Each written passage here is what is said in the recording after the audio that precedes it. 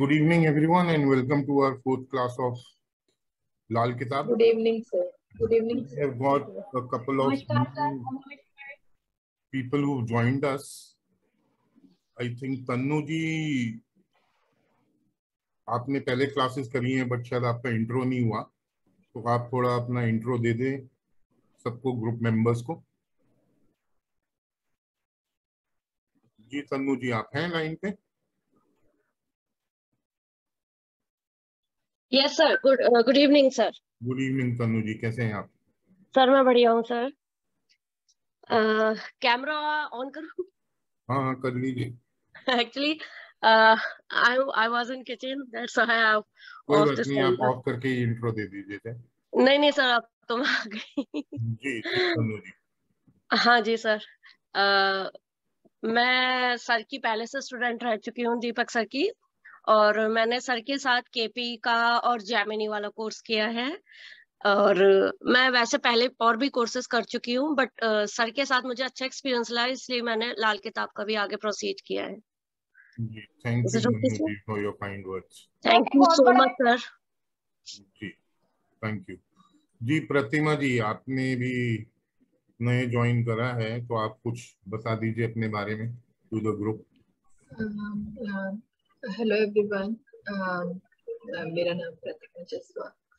Actually, I've been teaching in a school for years, and uh, all of a sudden, I felt like you know following this uh, astrology.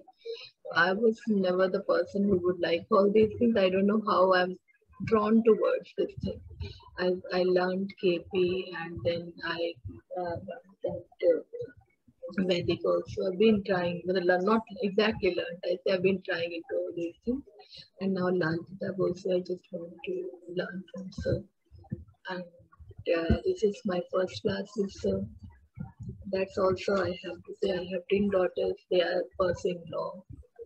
I think, thank you. Thank you. Hey, ji, welcome and welcome Tanu ji to our class and welcome all. For the evening and thank you very much तो आज का जो हमारा topic है वो friendship और एनिमिटी है मित्रता और शत्रुता है ग्रह की। तो जैसे मैंने आप लोगों को बताया था कि लाल किताब भावा चक्र पे बेस्ड है ना कि राशि चक्र पे पिछली क्लास में। भावा चक्र में भाव स्थिर है। आपके लिए भी एक नंबर का लगन है, मेरे लिए भी एक नंबर का लगन है और इस दुनिया में जितने भी लोग हैं, सबके लिए एक नंबर का ही लगन है।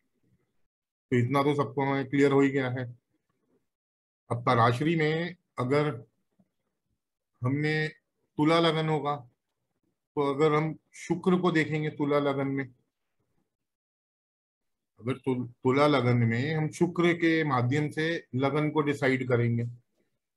बट यहाँ क्या है कि लाल किताब में हम शुक्र को अगर वो लगन में बैठा है, चाहे भले ही उस व्यय राशि का शुक्र हो आपके तुला लगन के हिसाब से, यहाँ वो पक्का घर सूर्य का है, जैसे मैंने पक्के घरों के बारे में बताया था। तो यहाँ सूर्य और शुक्र की जो एनिमिटी और शत्रुता है that comes into play यहाँ जो शुक्र अपनी गर्मी देता है ना, सेक देता है, उससे शुक्र जल जाता है, पीड़ित हो जाता है। चाहे भले ही स्वे राशि का शुक्र क्यों ना हो बट वो शुक्र यहाँ लाल किताब में सूर्य के पक्के घर में बैठा है।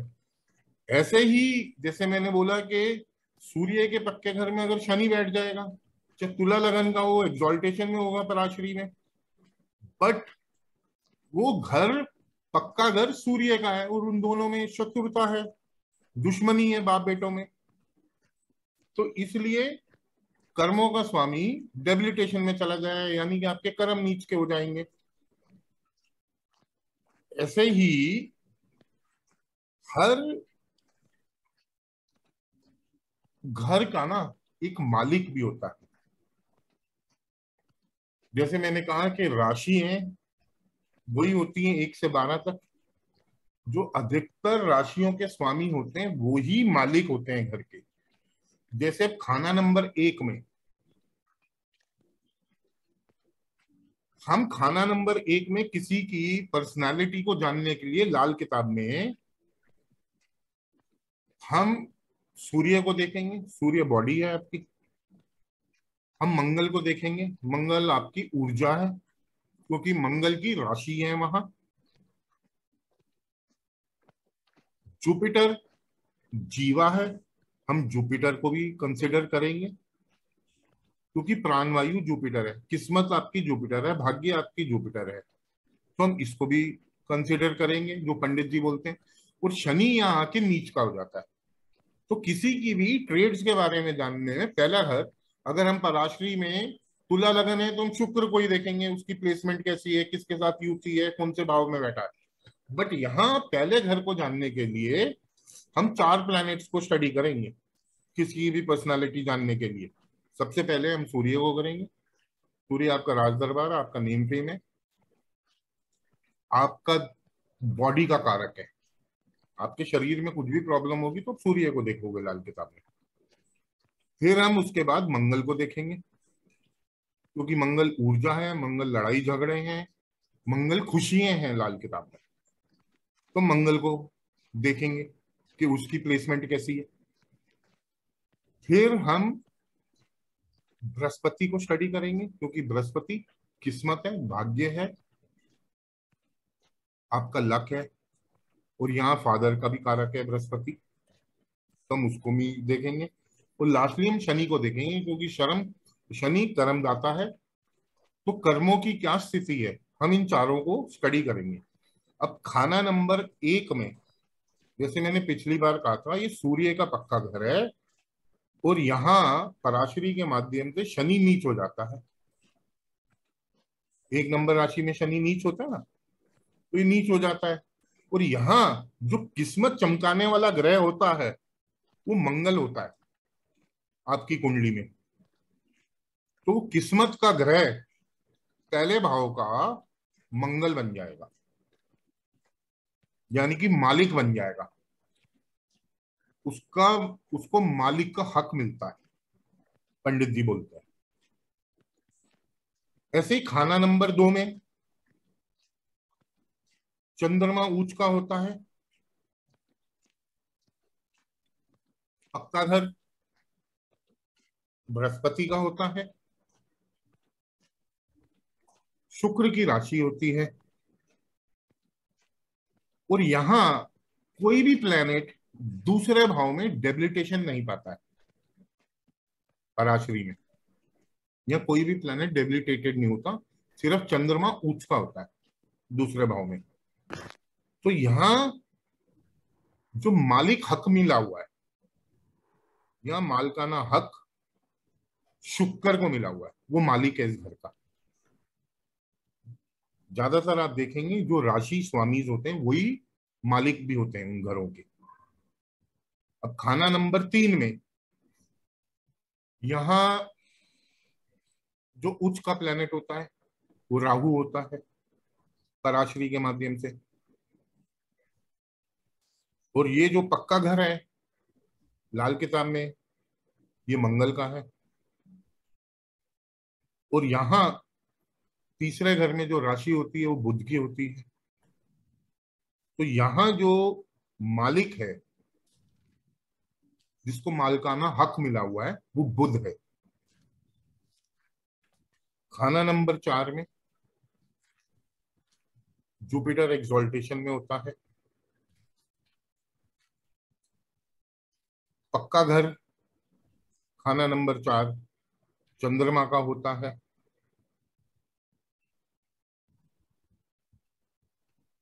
और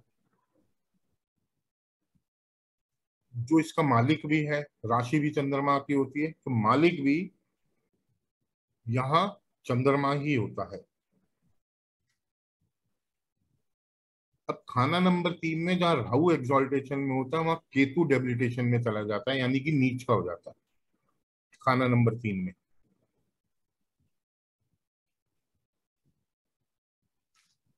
और वैसे भी ये जो जेमिनाई साइन है, ये मिथुन राशि है, ये एक लड़का और लड़की की फ़ोटो बनी हुई है। अगर आप सिंबल्स में देखेंगे तो एक लड़का और लड़की की फ़ोटो बनी हुई है। तो वो क्या दिखाता है? डुअलिटी दिखाता है। यहाँ खाना नंबर तीन में नर संतान मतलब कि आप मंगल को भी मेल चाइल्ड मान सकते हो, केतु को भी मेल चाइल्ड मान सकते हो और बुद्ध को आप फीमेल ग्रह मान सकते हो और बुद्ध को आप बेटी भी मान सकते हो डॉटर भी मान सकते हो। तो इन दोनों में अलगाव रहता है बहन भाइयों की लड़ाई में। तो जब भी लड़ाई होती है तो केतु यहाँ डेबिलिटेशन पा लेता है इस कारण से। यानी कि नीच का होता है केतु। खाना नंबर पाँच में, कोई भी ग्रह नीच नहीं होता है। राशि इसमें सूर्य की है। खाना नंबर पाँच में कोई ग्रह ऊंच का भी नहीं होता है। ये पक्का घर बृहस्पति का है। और इसका जो मालिकाना हक है पाँचवें घर का, वो सूर्य के अधीन है। तो आप जब भी ये स्टडी करें ना, पक्का घर, आपको ये माल, मालकाना हक भी अपने जहन में रखना है कि इसका मालिक कौन है। इस घर की किस्मत कौन उजागर कर सकता है? ये किस्मत के ग्रह होते हैं, जिनके पास मालकाना हक होता है। खाना नंबर छह में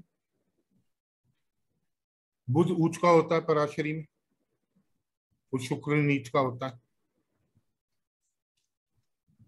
बुध की राशि होती है।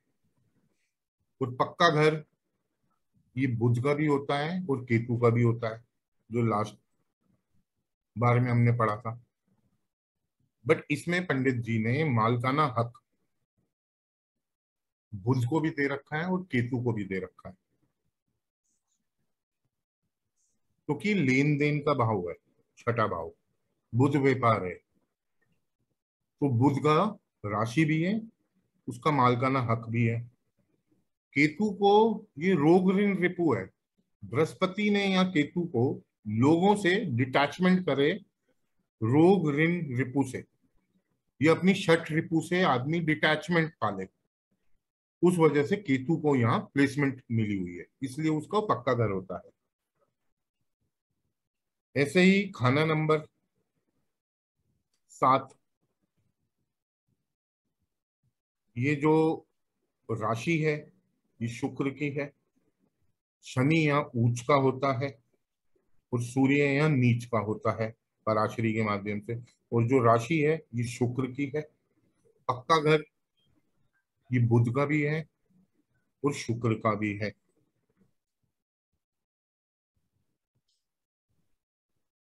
तो यहाँ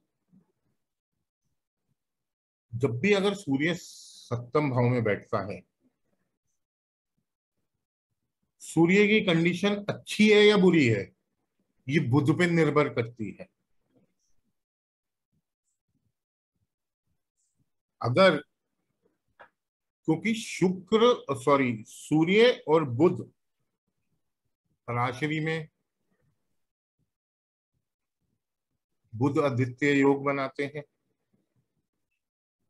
यहाँ ये मंगल मेघ का निर्माण करते हैं। सूर्य और बुध। तो अगर बुद्ध की कंडीशन अच्छी है तो वो मंगल मेघ बन जाएगा। तो जो कार्य तत्व सूर्य के हैं राज दरबार है, जॉब है नेम फेम है तो आपको सब चीज़ों की प्राप्ति हो जाती है।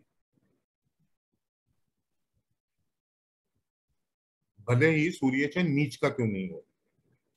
यहाँ। ऐसी खाना नंबर आठ में, यहाँ कोई प्लेनेट नीच का नहीं होता, क्योंकि तो वैसे ये पीड़ा का भाव है, दर्द का भाव है। एक ही प्लेनेट नीच का होता है यहाँ। वो है चंद्रमा, मन, क्योंकि तो शमशान है। यहाँ कोई प्लेनेट ऊंच का नहीं होता है अष्टम में। सिवाय आपके मन का, जो मन का भाव है। और ये पाताल है एक तरह का। आठवां भाव, कीड़ा है। तो इसलिए यहाँ चंद्रमा क्या आपकी मदर है। चंद्रमा आपका मन है। तो जितनी पीड़ा एक माँ ले सकती है, वो पीड़ा फादर या कोई और उसका बाप नहीं ले सकता, फादर नहीं ले सकते। तो इसलिए यहाँ चंद्रमा नीच का हो जाता है।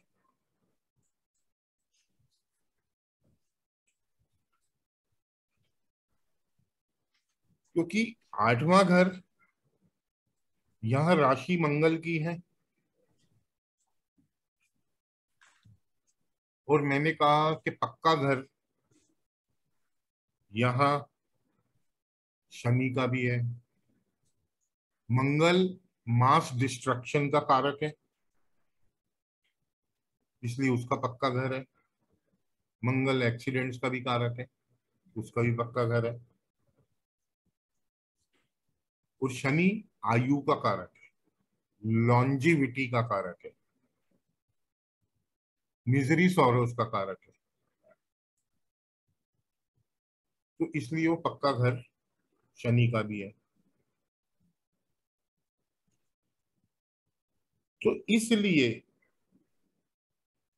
जैसे मन क्यों या नीच होता है जब तक आपका मन की साँसें चल रही हैं, आपकी दिल की साँसें चल रही हैं, आप ज़िंदा है। जैसे ही आपकी मन की या दिल की साँसें या धड़कने रुक जाएँगी, आप प्राण त्याग देंगे। तो इसलिए चंद्रमा यहाँ नीच का हो जाता है। और यहाँ जो मालिक है, मालकाना हक आठवें घर का मंगल को दिया गया है। ऐसी खाना नंबर नौ में राशि बृहस्पति की है। केतु ऊंच का होता है, क्योंकि केतु बृहस्पति का चेला है, इसलिए वो ऊंच का होता है। राहु या नीच का होता है, क्योंकि गुरु चंडाल योग बनाता है। बृहस्पति किस्मत है, भाग्य आपका फादर है, ये डीएनए भी है। तो इसलिए ये मालकाना हक नौवें भाव का, पक्का घर भी बृहस्पति का और मालकाना हक भी मालिक भी इस घर का बृहस्पति है। खाना नंबर दस में, बृहस्पति नीच का होता है और मंगल ऊंच का होता है। एग्जॉल्टेशन में होता है। राशि शनि की है। अब बृहस्पति नीच का क्यों होता है यहाँ? क्योंकि शनि कहता है, भाई, ये कर्मों का भाव है। बृहस्पति आपका भाग्य आपकी किस्मत है। तो यहाँ अगर बृहस्पति साधु संत आदमी है, जैसे मैंने बताया, वो अगर अपने कर्मों को ही अपना धर्म बना लेगा तो फिर जूते पड़ते हैं उसको। बृहस्पति दस वाले को तो उसको कभी भी अपने इमोशंस अपने बिज़नेस में या अपने प्रोफेशन में नहीं लाने हैं। उसको अपने इमोशंस साइड में रख देने हैं जब वो बिज़नेस करेगा या वो किसी भी प्रोफेशन करेगा। अगर वो अपने इमोशनों को बीच में लाएगा तो वो जूते ही खाएगा। नेकी कर और जूते खा इसलिए वो नीच का होता है यहाँ। ऊंच का मंगल क्यों होता है? मंगल आपकी ऊर्जा है, मंगल आपकी एनर्जी है, मंगल आपके एक्शन है। मंगल एक प्रोटेक्टर है, वो मंगल नेक है मंगल बद एक टेररिस्ट है। पकड़ी तो दोनों ने, बंदूकें हुई हैं। एक आर्मी ऑफिशियल ने भी पकड़ी हुई है, जो देश की रक्षा कर रहा है। और एक टेररिस्ट ने भी बंदूकें पकड़ी हुई है, जो लोगों को मार रहा है। तो अगर यहाँ मंगल को एग्जॉल्टेशन इसलिए मिलती है क्योंकि वो क्विक एक्शन टेकर है। अगर बॉर्डर पे अगर सिपाही या सोल्जर सोचेगा कि मैं गोलू, गोली चलाऊं या ना चलाऊं, तब तक तो गोली उसको ही पड़ जाएगी। तो इसलिए मंगल या ऊंच का होता है, वो सोचता नहीं है, काम कर देता है। इसलिए वो एक्सोल्टेशन का होता है। तो मंगल के भी जब हम डिस्कशन करेंगे, जब मंगल का पूरा चैप्टर करेंगे तो मंगल बद और मंगल नीक के बारे में भी बातें करेंगे। तो यहाँ एग्जॉल्टेशन इसलिए पाता है Mangal because it is quick action taker वो सोचता नहीं है काम करने से पहले यहाँ। क्योंकि तो मंगल क्या है, एक तलवार में दो ही, एक म्यान में दो ही तलवारें रहेंगी। शनि का पक्का घर है। मंगल का क्या एटीट्यूड है, मार दूँगा या मर जाऊँगा? बीच का नहीं है उसका। या तो मार दूँगा या मर जाऊँगा। ये मंगल का एटीट्यूड है। तो ऐसे ही मंगल यहाँ एग्जॉल्टेशन पाता है और इसमें जो किस्मत है, या मालकाना हक है, वो शनि का है। खाना नंबर दस में। खाना नंबर ग्यारह में शनि की राशि है। ये लाभ भाव है गेन्स का भाव है प्रॉफिट्स का घर है। इसमें पक्का घर ये जुपिटर का है, बृहस्पति का है, क्योंकि तो बृहस्पति लाल किताब में लाभ का स्वामी है प्रॉफिट्स का स्वामी है।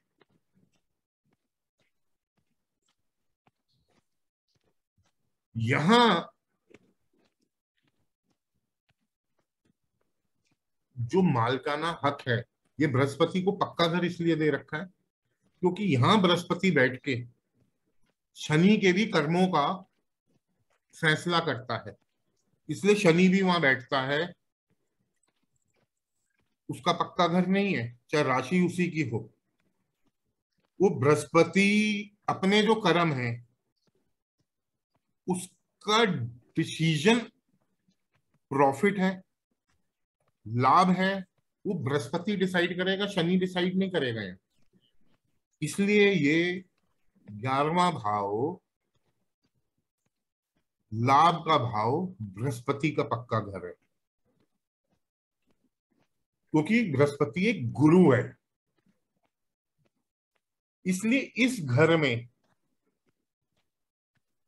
कोई प्लैनेट एग्जॉल्टेशन नहीं पाता, यानी कि ऊंच का नहीं होता और नीच का भी नहीं होता। यहाँ बृहस्पति शनि के साथ मिलके कर्मम, कर्मदाता शनि है। वो दोनों डिसाइड करते हैं कि आपको आपके कर्म जो कर रहे हैं, उसका फल अच्छा मिलेगा। या उसका फल बुरा मिलेगा इसमें जो ग्यारहवा घर है, इसमें जो किस्मत का ग्रह है, या जो मालकाना हक है, वो शनि को ही दिया गया। बट शनि भी अपने कर्मों का जो लेखा जोखा है, उसके कर्मों का भी लेखा जोखा मुनाफा है मुन, अच्छे कर्म करें तो भाई मुनाफा मिलेगा। उसकी डिसीज़न बृहस्पति लेता है। बाकी सब ग्रहों के डिसीज़न यहाँ शनि और बृहस्पति मिलके लेते हैं। ऐसे ही खाना नंबर बारह। राशि बृहस्पति की है। शुक्र या एग्जॉल्टेशन में होता है। बुध या नीच हो जाता है। और पक्का घर, जैसे मैंने बताया था राहु का है और बृहस्पति का है।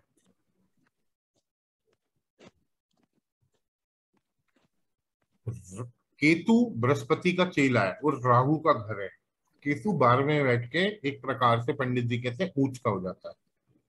राहु छठे में बैठ के वो भी ऊंच के फल देता है। क्योंकि वो जो छठा भाव है, वो राहु के मित्र का भाव है बुद्ध का भाव है और केतु का भाव है। तो केतु, राहु एक ही, वो थर है और वो सर है। केतु भाव, केतु और राहु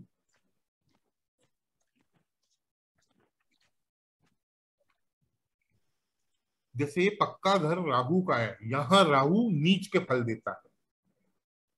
केतु यहाँ ऊंच के फल देता है।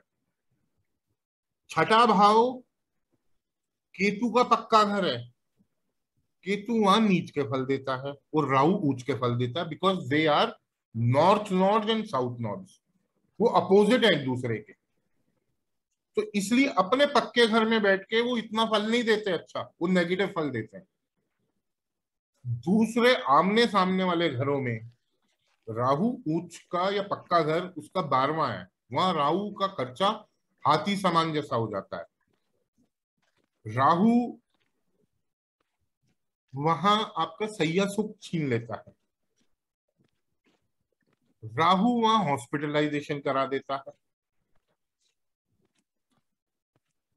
वो देने का भाव है बारवा वह केतु इसलिए ऊंच का हो जाता है, क्योंकि केतु एक सेक्रीफाइस है। केतु आपके मन का भाव है।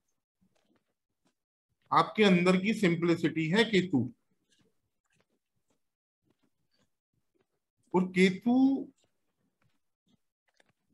का जो भाव है, वो देने का है। वो डोनेशन का भाव है। वो लेने का भाव नहीं है। राहु को तो लेना ही आता है, उसे देना तो आता नहीं। तो इसलिए पक्का घर होने के बावजूद राहु वहाँ बुरे फल देता। क्योंकि वो बृहस्पति का भी घर है। राहु और बृहस्पति, वैसे पंडित जी बोलते हैं, एक बराबर का स्टेटस रखते हैं लाल किताब में आगे जब हम फ्रेंडशिप एनिमिटी करेंगे तो मैं आपको सम ग्रहों के बारे में बताऊँगा। जो अपनी पावर्स एक दूसरे को देते हैं। एक्सचेंज ऑफ़ एनर्जीज तो जैसे जब भी राहु बृहस्पति के घरों में होता है ना, उसको शांत कर देता है। उसकी सारी पावर ले लेता है। तो ऐसे जब हम फ्रेंडशिप एनिमिटी आज करेंगे तो मैं आपको इन सम ग्रहों के बारे में भी बताऊँगा, जिसे हम न्यूट्रल ग्रह बोलते हैं। हर प्लेनेट के लिए कोई मित्र ग्रह होते हैं, कोई शत्रु ग्रह होते हैं। और ज़रूरी नहीं है ये सम ग्रह जो हो न्यूट्रल ग्रह जो उनसे हो।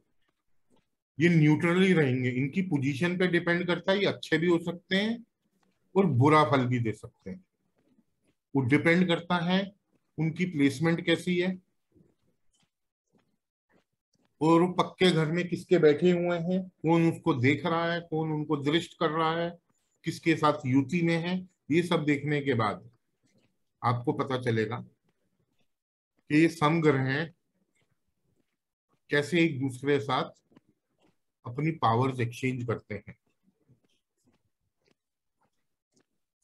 क्योंकि यहाँ क्या है मोक्ष का घर है, केतु मोक्ष दर्शाता है एंड ऑफ़ एवरीथिंग मृत्यु अगर बारवा है तो इसलिए वो बंधन से आपको आज़ादी दे देता केतु। तो इसलिए केतु बड़ा अच्छा रहता है बारहवें घर में।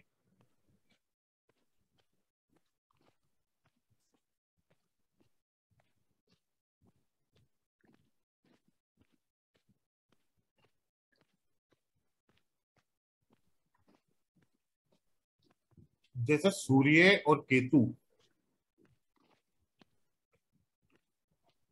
अगर किसी घर में इकट्ठे होते हैं,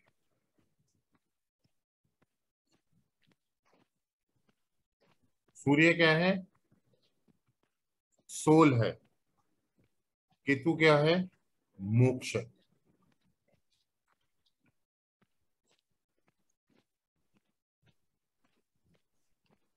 तो ये जन्म और मरण के बीच में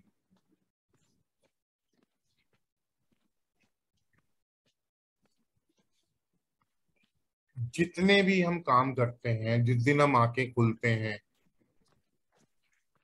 और जिस दिन हम आँखें बंद करते हैं, हम अपने जीवन में राहु और केतु के नॉर्ड्स के बीच में ही घूमते रहते हैं। बीच में ये प्लैनेट्स आते हैं, जो एक बस स्टैंड होते हैं। अगर आप ज़्यादा मटेरियलिज्म की तरफ़ भागेंगे तो आप एक एंड पे मटेरियलिज्म पाके आपको केतु खींच लेगा अपनी तरफ़। आप सोचोगे मैं कोई दान पुण्य करूँ? ऐसे ही अगर आप स्पिरिचुअलाइजेशन की तरफ़ जाएँगे, आपको राहु खींच लेगा कि भाई इसमें क्या रखा है?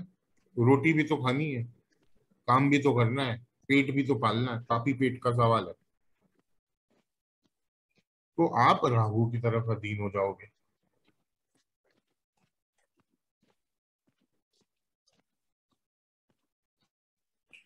तो इसलिए यहाँ केतु को पंडित जी ने एक एग्जॉल्टेशन का प्लेनेट माना है और राहु को छठे में पंडित जी ने एक एग्जॉल्टेशन का प्लेनेट माना है, वहाँ ये अच्छा रिज़ल्ट देते हैं।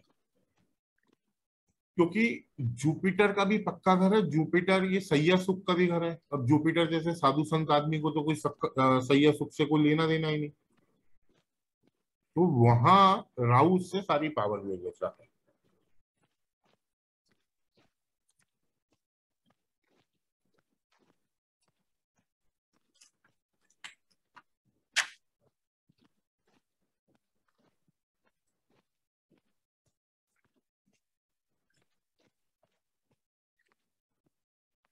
अगर बुध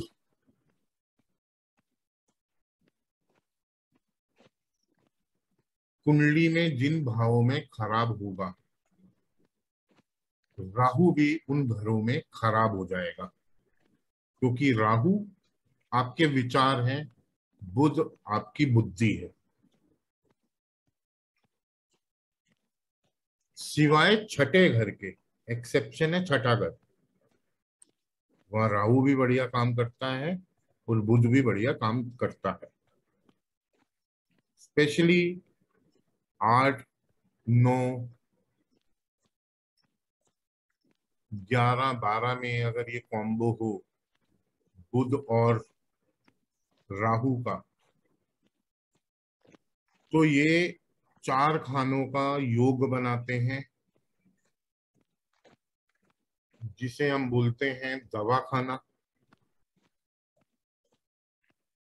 पागल खाना, वीराना और जेल खाना।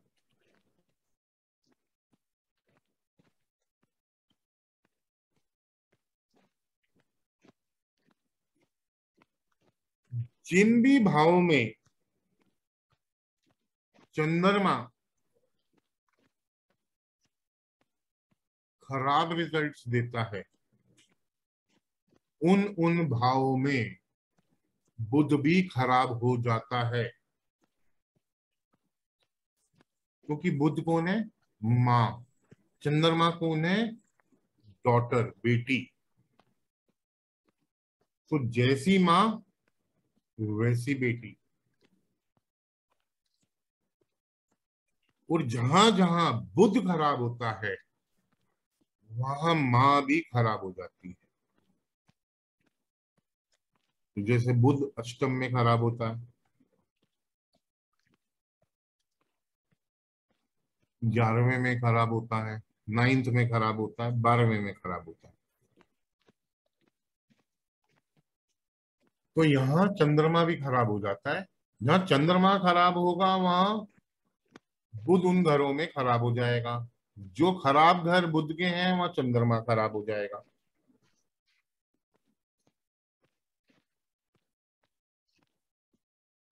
ये जो मालिकाना हक है, ये अलग है पक्के घर से।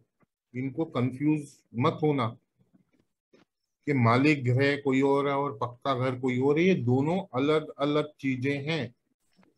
पक्का घर जैसे हम बोलते हैं ना पराशरी में कोई प्लेनेट ऊंच का हो जाता है। ऐसे ही लाल किताब में पक्का घर डीएनए है उस प्लेनेट का। उसकी जड़ है उस प्लेनेट की। सॉरी uh, सर uh, क्या एक बार आप पागल खाना और दवा खाने वाली लाइन रिपीट कर देंगे सर मैं थोड़ा मिस कर गई इस चीज़ को। जी तन्नू जी। जी ऐसा है कि जब भी अगर बुध अष्टम नवम ग्यारहवें भाव या बारहवें भाव में होगा। या राहु सात होगा बुध के, ये युति आठ, नौ, ग्यारह, बारह में बन रही होगी। या अलग अलग भी बन रही होगी आपकी कुंडली में। उदाहरण के तौर पे राहु बारह में बैठ गया, बुध अष्टम में बैठ गया तो भी एक इस योग का निर्माण कर देते हैं। अगर तो सर अगर सॉरी हाँ, सर। सर अगर जैसे बुद्ध अष्टम है बट राहु सही जगह पे है तो भी डिस्टरबेंस हो ही जाएगी ना? इतना नहीं होगी। मतलब कि इस योग का जो स्पेशली निर्माण कर रहा हूँ या तो पागल खाना भेज देगा या जेल खाने की हवा खिला देगा या आपको फॉरेन लैंड्स में ले जाएगा या फिर दवा खाना में ले जाएगा अस्पताल में ये योग ले जाएगा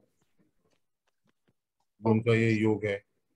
इन चार घरों में ये अकेले बैठे हों या इनकी युति हो तो इस योग का निर्माण कर देते हैं। ठीक है तनु जी? जी सर। थैंक यू जी। अब पक्का घर मैंने जैसे बताया कि प्लेनेट का डीएनए है। प्लेनेट पक्के घर में एग्जॉल्टेशन पाता है। छठा घर और बारहवें घर में एक एक्सेप्शन है। छठा घर पक्का घर केतु का है। बारवा घर पक्का घर राहु का है। राहु और केतु इन दोनों भावों में बैठ के छठे और बारहवें में अच्छा रिज़ल्ट नहीं देते हैं। छठा घर रोग ऋण रिपु का है केतु मूवमेंट है, पैरों की तकलीफ़ दे देता। है राहु बारहवें में, उसको लिमिट्स ही नहीं पता कि क्या होती है। हाथी सामान खर्चे कर देगा।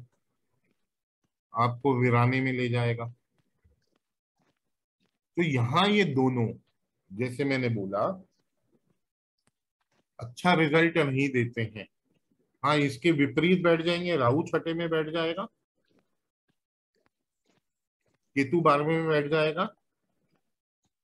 तो पंडित जी कहते हैं, ये बहुत बढ़िया रिज़ल्ट देते हैं। केतु तीसरे भाव में, छठे भाव में खराब रिजल्ट्स देता है। इन दोनों भावों में आप मानिए नीच हो जाता है एक तरह से। अपने पक्के घर में नीच हो जाता है। राहु नौवम घर में नीच होता है। राहु बारहवें घर में ही नीच हो जाता है अपने पक्के घर में।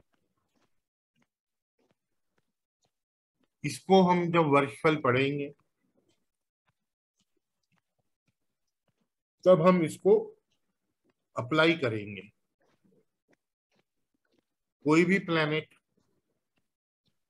दूसरे भाव में,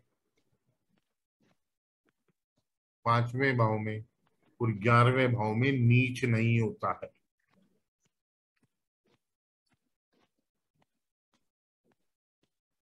अष्टम भाव में सिर्फ़ और सिर्फ़ कोई प्लेनेट ऊंच का नहीं होता है। सिर्फ़ चंद्रमा नीच का होता है। कोई प्लेनेट अष्टम भाव में ऊंच का नहीं होता है। जैसे मैंने बताया है कि सूर्य सप्तम भाव में भी बैठ जाएगा। आपको अच्छे रिज़ल्ट दे सकता है, चाहे भले वो पक्का घर बृहस्पति का वो पक्का घर, वो बुध और शुक्र का क्यों नहीं हो? शुक्र उसका दुश्मन है।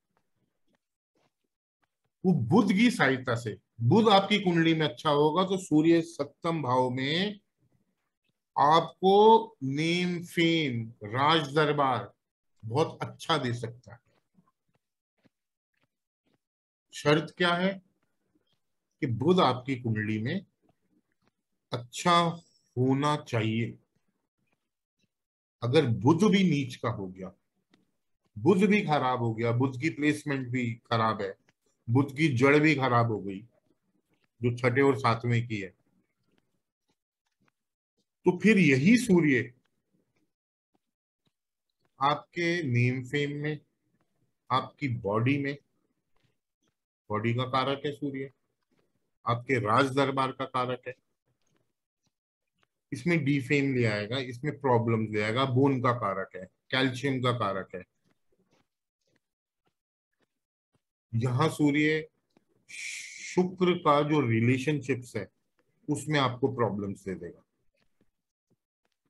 मैरिटल लाइफ में प्रॉब्लम दे देगा। क्योंकि तो सप्तम भाव मैरिज का भी है। क्योंकि क्या है ना, शुक्र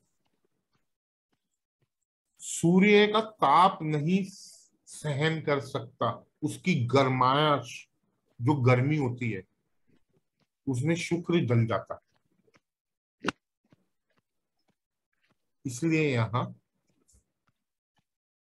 प्रॉब्लम दे देता है। बट अगर बुध अच्छा होगा तो यहाँ आपको प्रॉब्लम नहीं आएगी।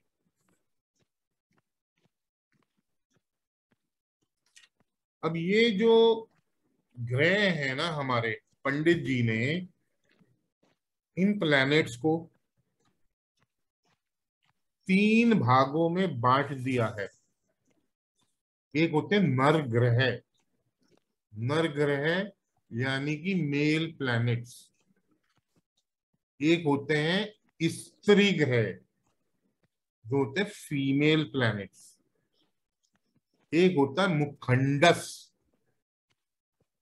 जिसे हम बोलते हैं यूनिसेक्सुअल या सिक्सर बोलोगे आप तीजड़ा बोलोगे। तो इन तीन सेक्शनों में इसको बांट दिया है पंडित जी ने। जो नर ग्रह होते हैं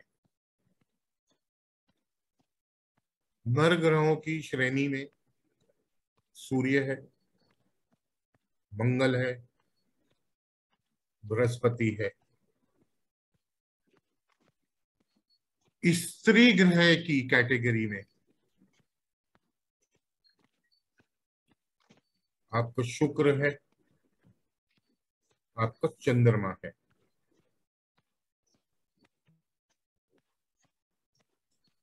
और जो मुखंडस ग्रह हैं, इसमें शनि है, केतु है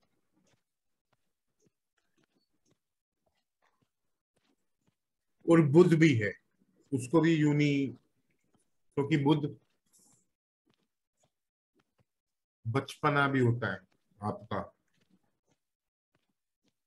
तो जो बुद्ध है, क्योंकि तो बुद्ध भेद लेता है तो उसको इसी कैटेगरी में डाला हुआ है बुद्ध को।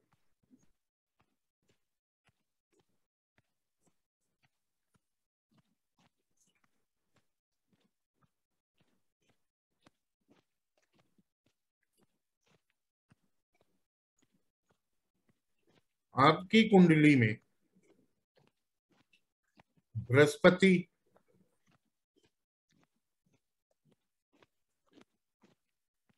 अब हम फ्रेंडशिप एमिमिटी पे आ जाते हैं। मैं आपको स्लाइड दिखाऊँगा। उससे हम ये सारे ग्रहों की फ्रेंडशिप एनिमिटी एक बार को डिस्कस करेंगे। और फिर उसके बाद मैं आपको इन जो सम ग्रहों के बारे में है, उनके बारे में मैं आपको कुछ बताऊँगा।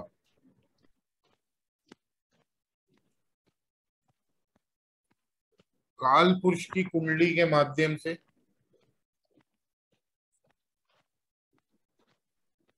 जैसे मैंने कहा है कि एरीज लगन में कोई योग कारक प्लैनेट नहीं होता है। फंक्शनल बेनिफिक जो उनसे प्लैनेट्स होते हैं, कालपुरुष कुंडली में, वो सूर्य होता है, मंगल होता है और जुपिटर होता है। ये फंक्शनल बेनिफिक है।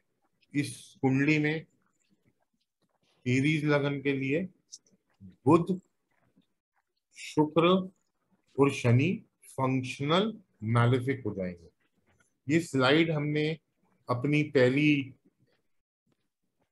क्लास में डिस्कस करी थी बट मैं फिर इसको रिपीट नहीं करूँगा, क्योंकि ऑलरेडी ये मैंने एक बार पहले आपके साथ डिस्कस कर चुका हूँ। अब ये फ्रेंडशिप एनिमिटी है हमारी। उससे पहले हम चलिए, सबसे पहला प्लेनेट है बृहस्पति। बृहस्पति आपके फादर को दर्शाता है। बृहस्पति आपका भाग्य है, आपकी किस्मत है, आपकी प्रोस्पेरिटी है। जो बृहस्पति है, बृहस्पति के साथ जो इक्वल पावर्स होती हैं इक्वल पावर्स का मतलब एक्सचेंज ऑफ़ एनर्जीज वो केतु के साथ अपनी एनर्जीज एक्सचेंज करता है। शनि के साथ अपनी एनर्जीज एक्सचेंज करता है। और वो राहु के साथ भी अपनी एनर्जीज एक्सचेंज करता है। बट यहाँ राहु बृहस्पति को शांत कर देता है। तो बृहस्पति और केतु के केस में गुरु चेला है दोनों एक दूसरे को इक्वल पावर देंगे। जितनी पावर गुरु अपने चेले को देगा, उतनी ही पावर चेला गुरु को भी देगा। It is exchange of powers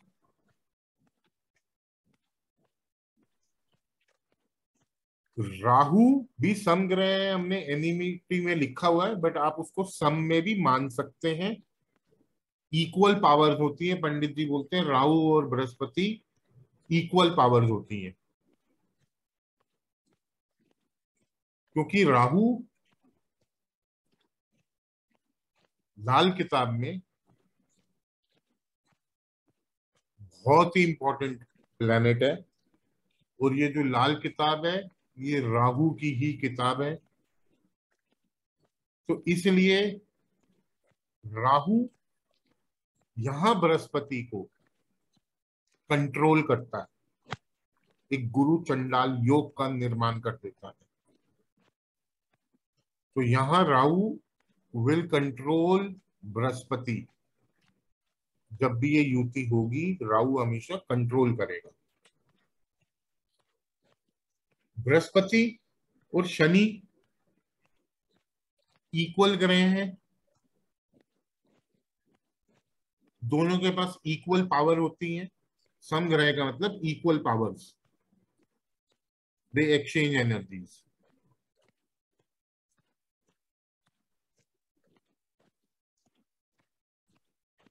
क्योंकि शनि बृहस्पति को देवगुरु मानता थे। और बृहस्पति शनि को कर्म कारक मानते थे, एक हार्ड वर्किंग व्यक्ति मानते थे मेहनत करने वाला। तो इसलिए इन दोनों के पास ये सम पावर्स होती हैं सेम पावर्स होती हैं इक्वल पावर्स होती हैं। जो बृहस्पति के दोस्त हैं, वो चंद्र है मंगल है और सूर्य है। जो बृहस्पति के शत्रु हैं, वो शुक्र है, बुध है और राहु है।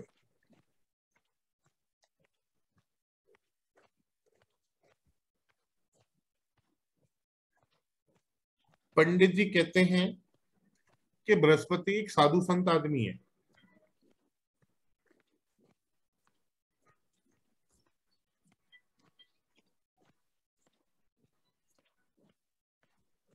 वो कहते हैं कि एक साधु संत आदमी है।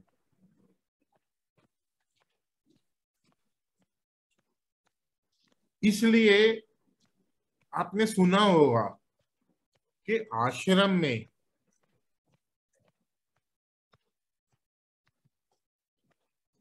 पुराने जमाने में फीमेल्स को रात को रहने के लिए अनुमति नहीं मिलती थी। क्योंकि पंडित जी कहते हैं, छह साल की गुड़िया हो या साठ साल की बुढ़िया हो। वो आश्रम का शांति भंग करते हैं। तो इसलिए उनको रात को रहने के लिए मना करा जाता था। क्योंकि जितने भी साधु बदनाम हुए हैं आज के इस युग में, उनके पीछे बुध जो कन्या है, ये शुक्र ही इन्वॉल्व है।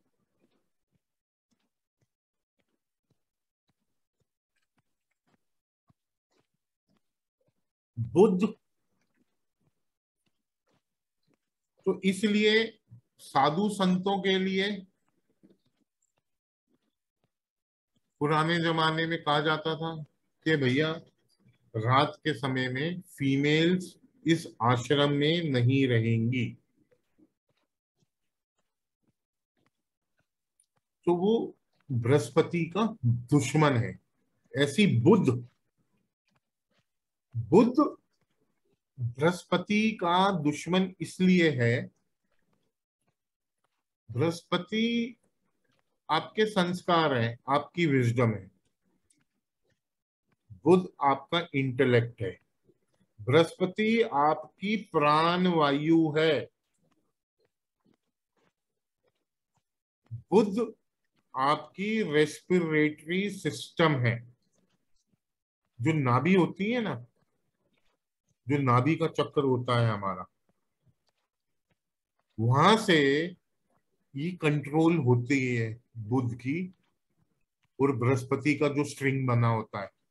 क्योंकि सांस से आपकी बृहस्पति है, जो सांसों का कंट्रोल है वो बुद्ध है, आपके अंदर का रेस्पिरेटरी सिस्टम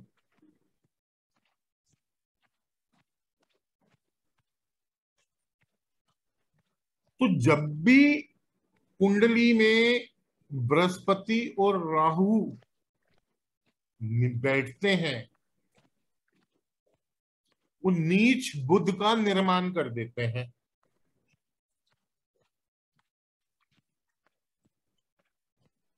आपकी बॉडी में बृहस्पति प्राणवायु है, ब्रीद है। राहु हर प्रकार की ऑब्स्ट्रक्शन है।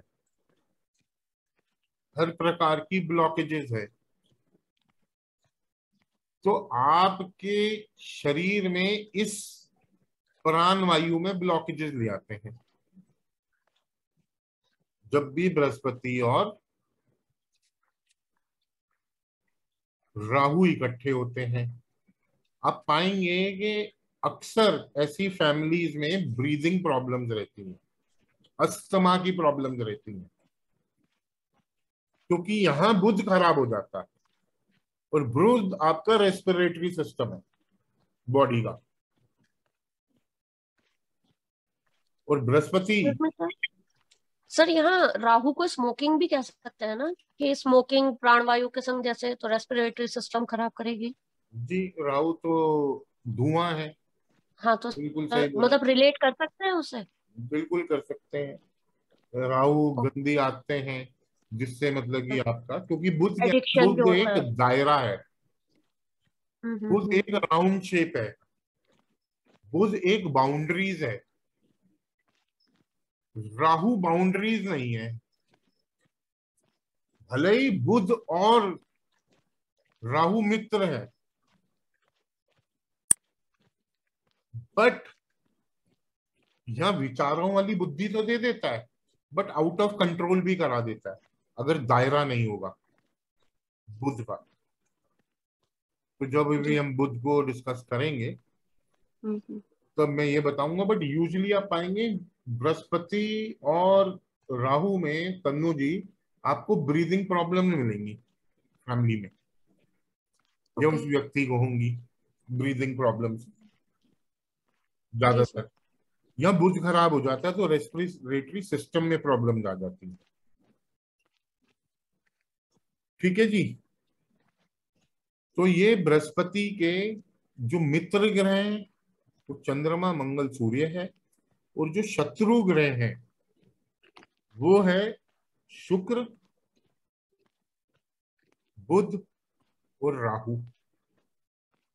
और जो सम ग्रह हैं, उसमें आप राहु भी जोड़ सकते हैं, क्योंकि यहाँ राहु दबा देता है, बृहस्पति को पूरी तरह।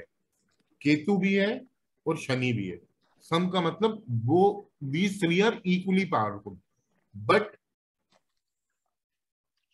Rahu और जुपिटर में राहु प्रबल हो जाता है और जुपिटर को दबा देता है। दूसरा प्लेनेट जो है जी। ओनली समग्र के साथ जुटी होता है और आदर्श कोई ग्रह के साथ जुटी नहीं हो रहा ना। जी सरकार जी आप कुछ बोल रहे हैं क्या? ओके, अब हम चलते हैं सूर्य पे। सूर्य एक राजा है, सूर्य एक किंग है, सूर्य एक दानी है, उसका काम है दान देना।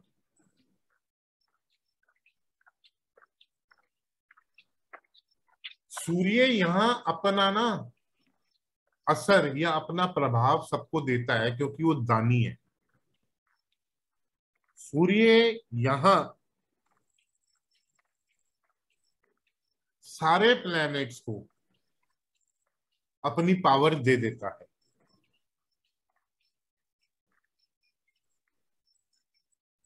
सूर्य केतु को और बुद्ध को ये इक्वल पावर में मानते हैं। सूर्य बुद्ध से पावर लेता है और केतु को आधी पावर देता है। बाकी सारे ग्रहों को सूर्य अपनी पूरी पावर दे देता है।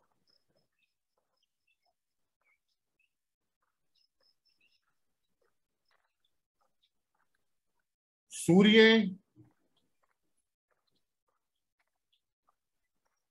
एक गर्माइश है, एक गर्मी है सूर्य की। अगर सूर्य ना राउंड नहीं होता। एक दायरे में नहीं होता, दायरा है सर्कल वो है बुद्ध का। तो फिर क्या होता? वो आग कितनी फैल जाती सूर्य की, गर्माइश कितनी फैल जाती कि पृथ्वी को ही जला देती। तो इसलिए सूर्य भी बुद्ध से पावर लेता है। बाकी सबको अपनी गरमाइश देता है। सूर्य और राहु। मतलब ये ग्रहण का योग बनाते हैं। सूर्य ग्रहण का। जब भी राहु लगन में होगा और सूर्य आपका मान लीजिए फ़र्स्ट हाउस में होगा तो ग्रहण किसको लगेगा? ग्रहण लगेगा आपकी बॉडी को, आपके राज दरबार को। जब भी सूर्य दूसरे भाव में होगा और राहु लगन में होगा तो ग्रहण किसको लगेगा? यहाँ आपकी दूसरे घर की चीज़ों को ग्रहण लग जाएगा, आपके बैंक बैलेंसेस को ग्रहण लग जाएगा, आपकी ज्वाइंट फैमिली को ग्रहण लग जाएगा बट मेन ग्रहण या फीमेल्स को लगा देता है। फीमेल्स की मौतें ज़्यादा करा देता है,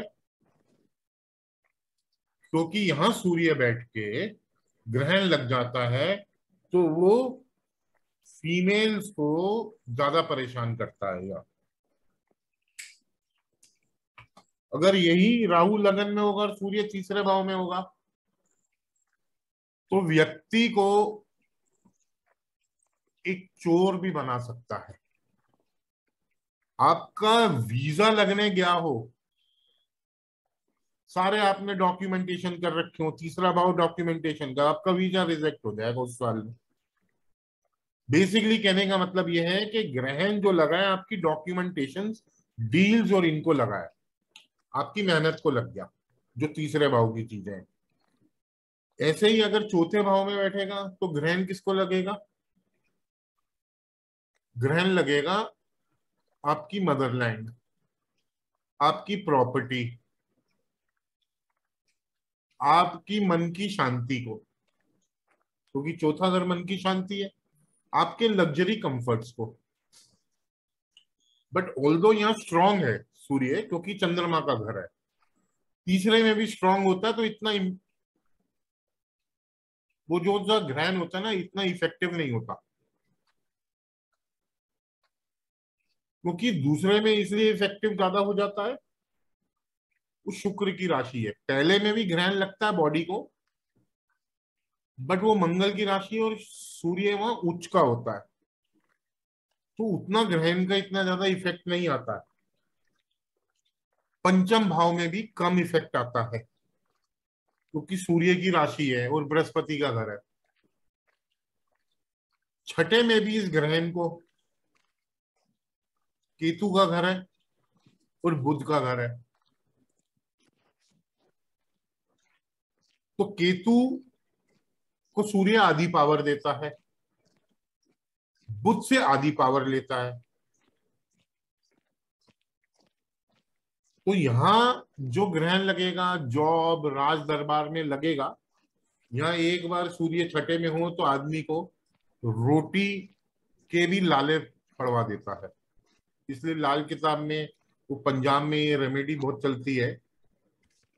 किसी का भी सूर्य छठे में हो, उसको राज दरबार में प्रॉब्लम आ रही हो, या बॉडी में प्रॉब्लम आ रही है तो उसको बोलते हैं, भाई, तू भिखारी बन के, फटे हुए कपड़े पहन के, किसी गुरुद्वारे या किसी मंदिर के बाहर जाके खड़ा हो जा। क्योंकि वहाँ ना ह्यूमिलेशन होती है सूर्य की। क्योंकि ये टाइम होता है सात से आठ बजे के बीच का। तो यहाँ सूर्य अस्त हो गया होता है। तो इसलिए ये बंदी जैसा बन जाता है। सातवें में भी बनता है और आठवें में भी, ओ, छठे में भी बनता है, क्योंकि अस्त होने का समय होता है सूर्य का ये। तो बोलते हैं कि भाई, किसी मंदिर या गुरुद्वारे या मस्जिद के बाहर जाके खड़े हो जाएँ। आपको जो पैसे मिलेंगे, वो पैसे लेके आ जाना और वो पैसे अपने पास रखना। उसके बाद उसका राइस चालू हो जाता है। कोई भी सूर्य छठे में होगा, जितनी उसकी इंसल्ट होगी, उतना बढ़ेगा वो। ऐसे हमारी मोदी जी की कुंडली में सूर्य छठा लेके बैठे हैं। आप जितनी निंदा करोगे, उतना बढ़ेगा। जितना ये कांग्रेस वाले उनके बारे में अनाप शनाप बोलते हैं, जितनी निंदा करते हैं, उतना नेम फेम बढ़ा देता है वहाँ सूर्य।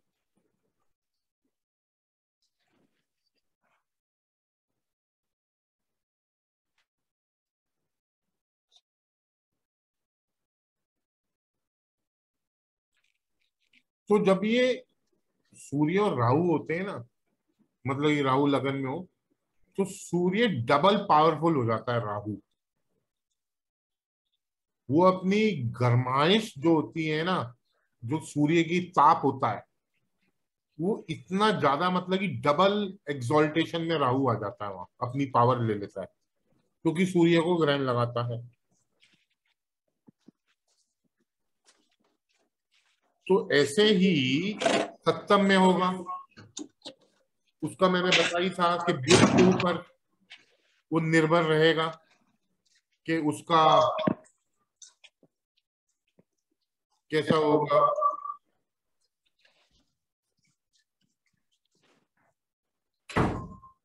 कि बुद्ध पे निर्भर करता है सप्तम का सूर्य कि उसकी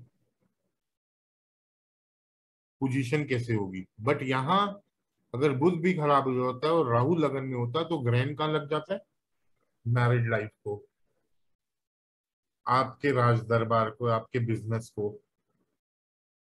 अष्टम में सूर्य अगर होता है तो ग्रहण किसको लग जाता है? ऑल दो लॉन्गेविटी लंबी देता है वो, सूर्य अष्टम वाला, उसकी आयु लंबी होती है। उसको लाल किताब बोलती है कि अगर सूर्य अष्टम किसी का हो, उसको किसी व्यक्ति के पास बिठा दिया जाए, जो अभी अपने प्राण त्यागने वाला है। डॉक्टर ने कहा, दस मिनट या बीस मिनट है, जी, मिल लो। आखिरी फ़ेज़ चल रहा है। वो व्यक्ति प्राण नहीं त्यागेगा, अगर सूर्य अष्टम वाला वहाँ उसके पास जाके बैठ जाएगा। वो अपना प्राण नहीं त्यागेगा, चाहे वो दो दिन बैठा रहे। चाहे डॉक्टर जो मर्ज़ी बोले, वो व्यक्ति अपने प्राण नहीं त्यागेगा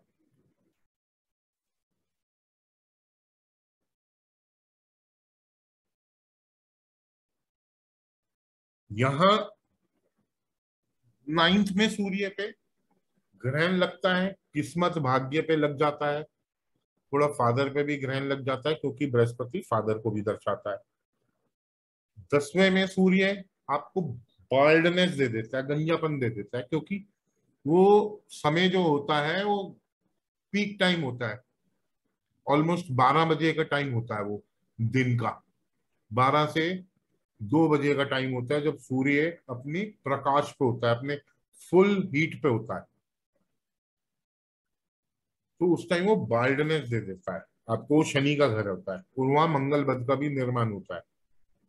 ऐसी ग्यारहवें में होता है तो लाल किताब सूर्य के लिए बोलती है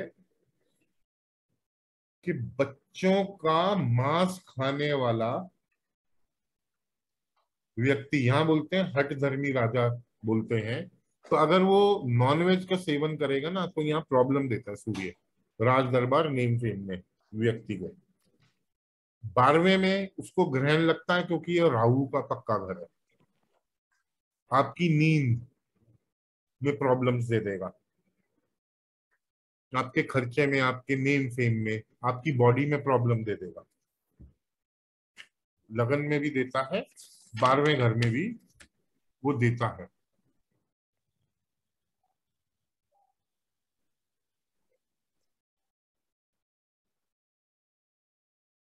क्योंकि तीसरा घर राहु एक्सॉल्टेशन में भी होता है बट बुद्ध का भी घर है। तो इसलिए वो नेगेटिव रिजल्ट्स आपको थर्ड हाउसेस के मिलते हैं वहाँ। बहन भाइयों से आपको नेगेटिविटी मिलेगी, छोटे सिबलिंग से आपको लड़ाई झगड़े होंगे, या वो आपको चीट कर लेंगे वहाँ। छठे में डिफेम कराता है वहाँ जॉब्स में प्रॉब्लम देता है, क्योंकि राहु बिकम्स डबल पावरफुल उन घरों में जहाँ ग्रहण सूर्य को लगता है। वैसे राहु लगन में हो, सूर्य किसी भी भाव में हो तो ग्रहण लगेगा उस भाव के एक्टिविटीज़ को, इतना आप मानिएगा ज़रूर। थोड़ी जगह में कम ग्रहण लगता है, थोड़ी जगह में ज़्यादा ग्रहण लगता है। तो इसलिए जो सूर्य के शत्रु ग्रह हैं, वो है शुक्र, शनि और राहु। जब भी सूर्य शनि के घर में बैठेगा तो वो मंगल बद का निर्माण करता है। क्योंकि इन दोनों में बाप बेटों में लड़ाई थी। लड़ाई ये थी, सूर्य बोलता था कि मैं दिन का राजा हूँ, रात्रि का राजा चंद्रमा है। शनि कहता था, आप दिन के राजा हो, मैं रात्रि का राजा हूँ। तो यही उनमें लड़ाई थी और कोई लड़ाई नहीं थी बाप बेटों में।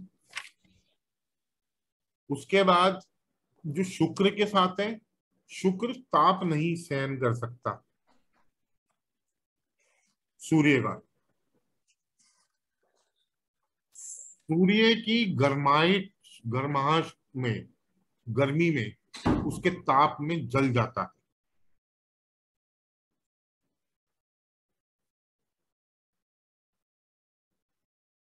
जब भी सूर्य और केतु भी हो ना तो आधा ग्रहण लगता है। पूरा नहीं लगता है। तो ये बात आप याद रखिए। बट केतु अगर लगन में हो तो जब हम केतु डिस्कस करेंगे तो सूर्य एग्जॉल्टेशन में भी हो जाता है, वो बात एक अलग है बट आधा ग्रहण लगता है, क्योंकि आधी पावर देता है। पूरी पावर नहीं देता है सूर्य अपनी। ऐसे ही जब शुक्र तो सॉरी चंद्रमा के जो दोस्त हैं, वो सूर्य है, मंगल है, गुरु है। उसके जो शत्रु हैं, चंद्रमा के वो शुक्र हैं, शनि है और केतु है। केतु मंगल को केतु चंद्रमा को ग्रहण लगाता है। उसको हम चंद्र ग्रहण बोलते हैं। चंद्रमा राहु और बुध को उनकी पावर्स इक्वल रहती है। वो इक्वली काम करते हैं।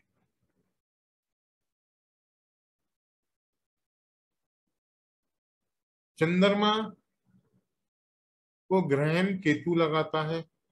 जब भी केतु चौथे भाव में होगा, चंद्रमा के पक्के घर में होगा तो ग्रहण लग जाएगा कहा? माँ को। आपकी मदरलैंड को तो इसलिए आप पाएँगे चार साल की उम्र के अंदर ही अंदर व्यक्ति अपना निवास स्थान बदल लेता है।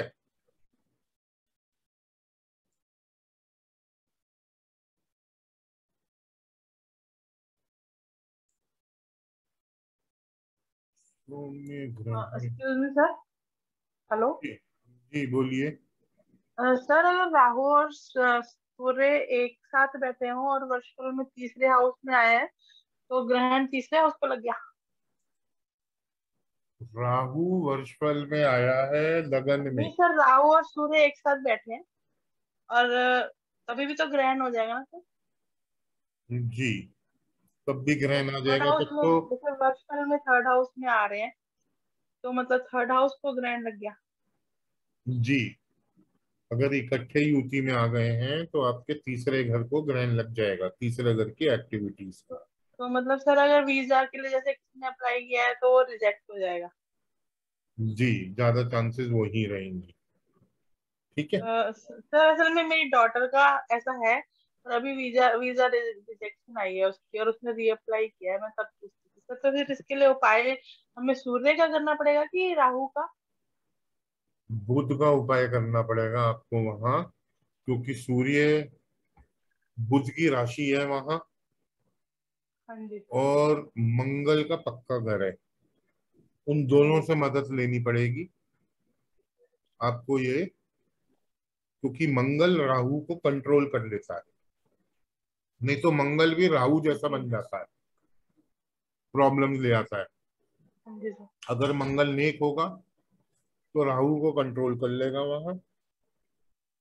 क्योंकि बुध भी क्या है, वो भी राहु जैसे बन जाता है, क्योंकि बुद्ध एक दायरा है, एक लिमिटेशन है। क्योंकि पहिया जो उनसा होता है ना, गाड़ी का, वो गोल होता है। उसको कौन बाँध के रखता है? एक एक्सेल की रॉड कि वो सीधा चले। जहाँ एक्सेल मुड़े, वो वहाँ मुड़ जाए। क्योंकि बुद्ध एक बिना थाली का बैंगन है। बिना पैंदी का लोटा है, कहीं भी लौट जाता है। तो इनको जो कंट्रोल करेगा सूर्य को, वो मतलब कि सूर्य को जो तीसरे भाव की एक्टिविटीज़ को ग्रहण लगा है, जसविंदर जी, उसमें आप बुद्ध के उपाय करेंगे और मंगल के उपाय करेंगे। मैं आपको बता दूँगा जब हम उपाय के सेशंस करेंगे ना। या जब हम नहीं सर असल में उसने अभी अप्लाई करने लगी है तो फिर रिजेक्शन आ जाएगी अगर हम उपाय लेट करेंगे ना। मैं इससे पूछ रही थी सर। मैं बता तो दूँगा आपको लेटर ऑन ना जो। बुद्ध के आप एक तो हनुमान चालीसा पढ़िया करें और दुर्गा चालीसा पढ़ा पढ़ा करें वहाँ।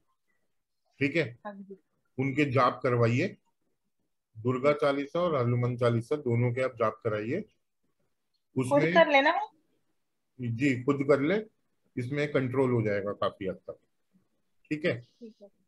और यहाँ बुद्ध की सपोर्ट लेनी पड़ेगी जो छोटी कन्याएँ हैं उनको मतलब कि आप कुछ गिफ्ट वगैरह दे दें वो सब चीज़ें करते हैं जो छोटी कन्याएँ होती हैं क्योंकि बुद्ध कन्याएँ भी है।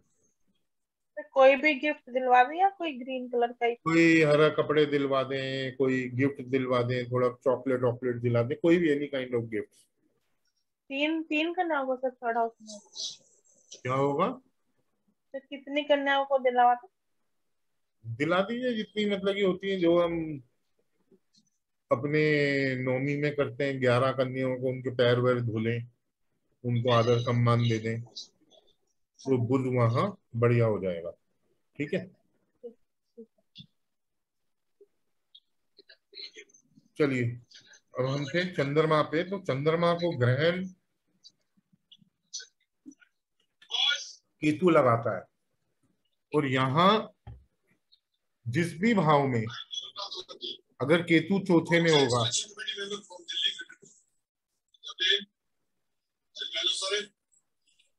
सर किसी का अनम्यूट है? आवाज़ आती है। जी मैं देख रहा हूँ किसी का अनम्यूट है किनका है।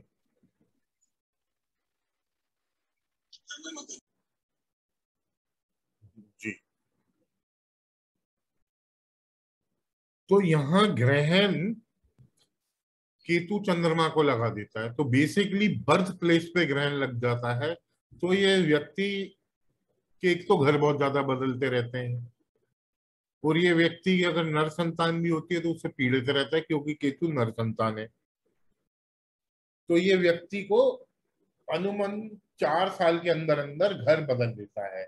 और he will keep on frequently change change his home places क्योंकि उसके होमलैंड पे ग्रहण लगा हुआ है। चंद्रमा कैश लिक्विडिटी भी है तो कैश लिक्विडिटी में भी प्रॉब्लम दे देता है यहाँ। तो जब भी केतु चौथे भाव में होगा, जिस भाव में भी चंद्रमा बैठा होगा, उस भाव को ग्रहण लग जाएगा। अब इसमें जो समग्रह हैं, चंद्रमा के, जो इक्वल पावर उनके पास रहती है। वो है पहला।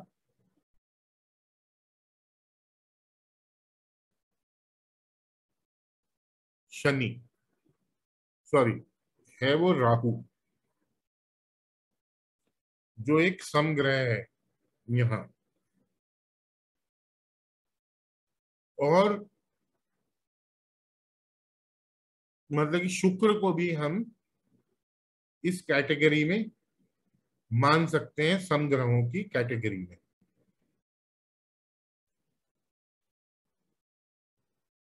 मंगल भी सम ग्रहों की कैटेगरी में आ जाता है। अगर मंगल नेक होगा तो बढ़िया होगा, चंद्रमा के लिए अगर मंगल बद होगा तो वो खराब हो जाएगा। तो इसलिए जो चंद्रमा है और शुक्र है। उन दोनों में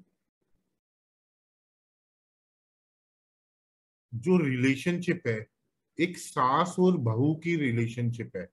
जब भी चंद्रमा और शुक्र मिलते हैं, वो नीच केतु का निर्माण कर देते हैं।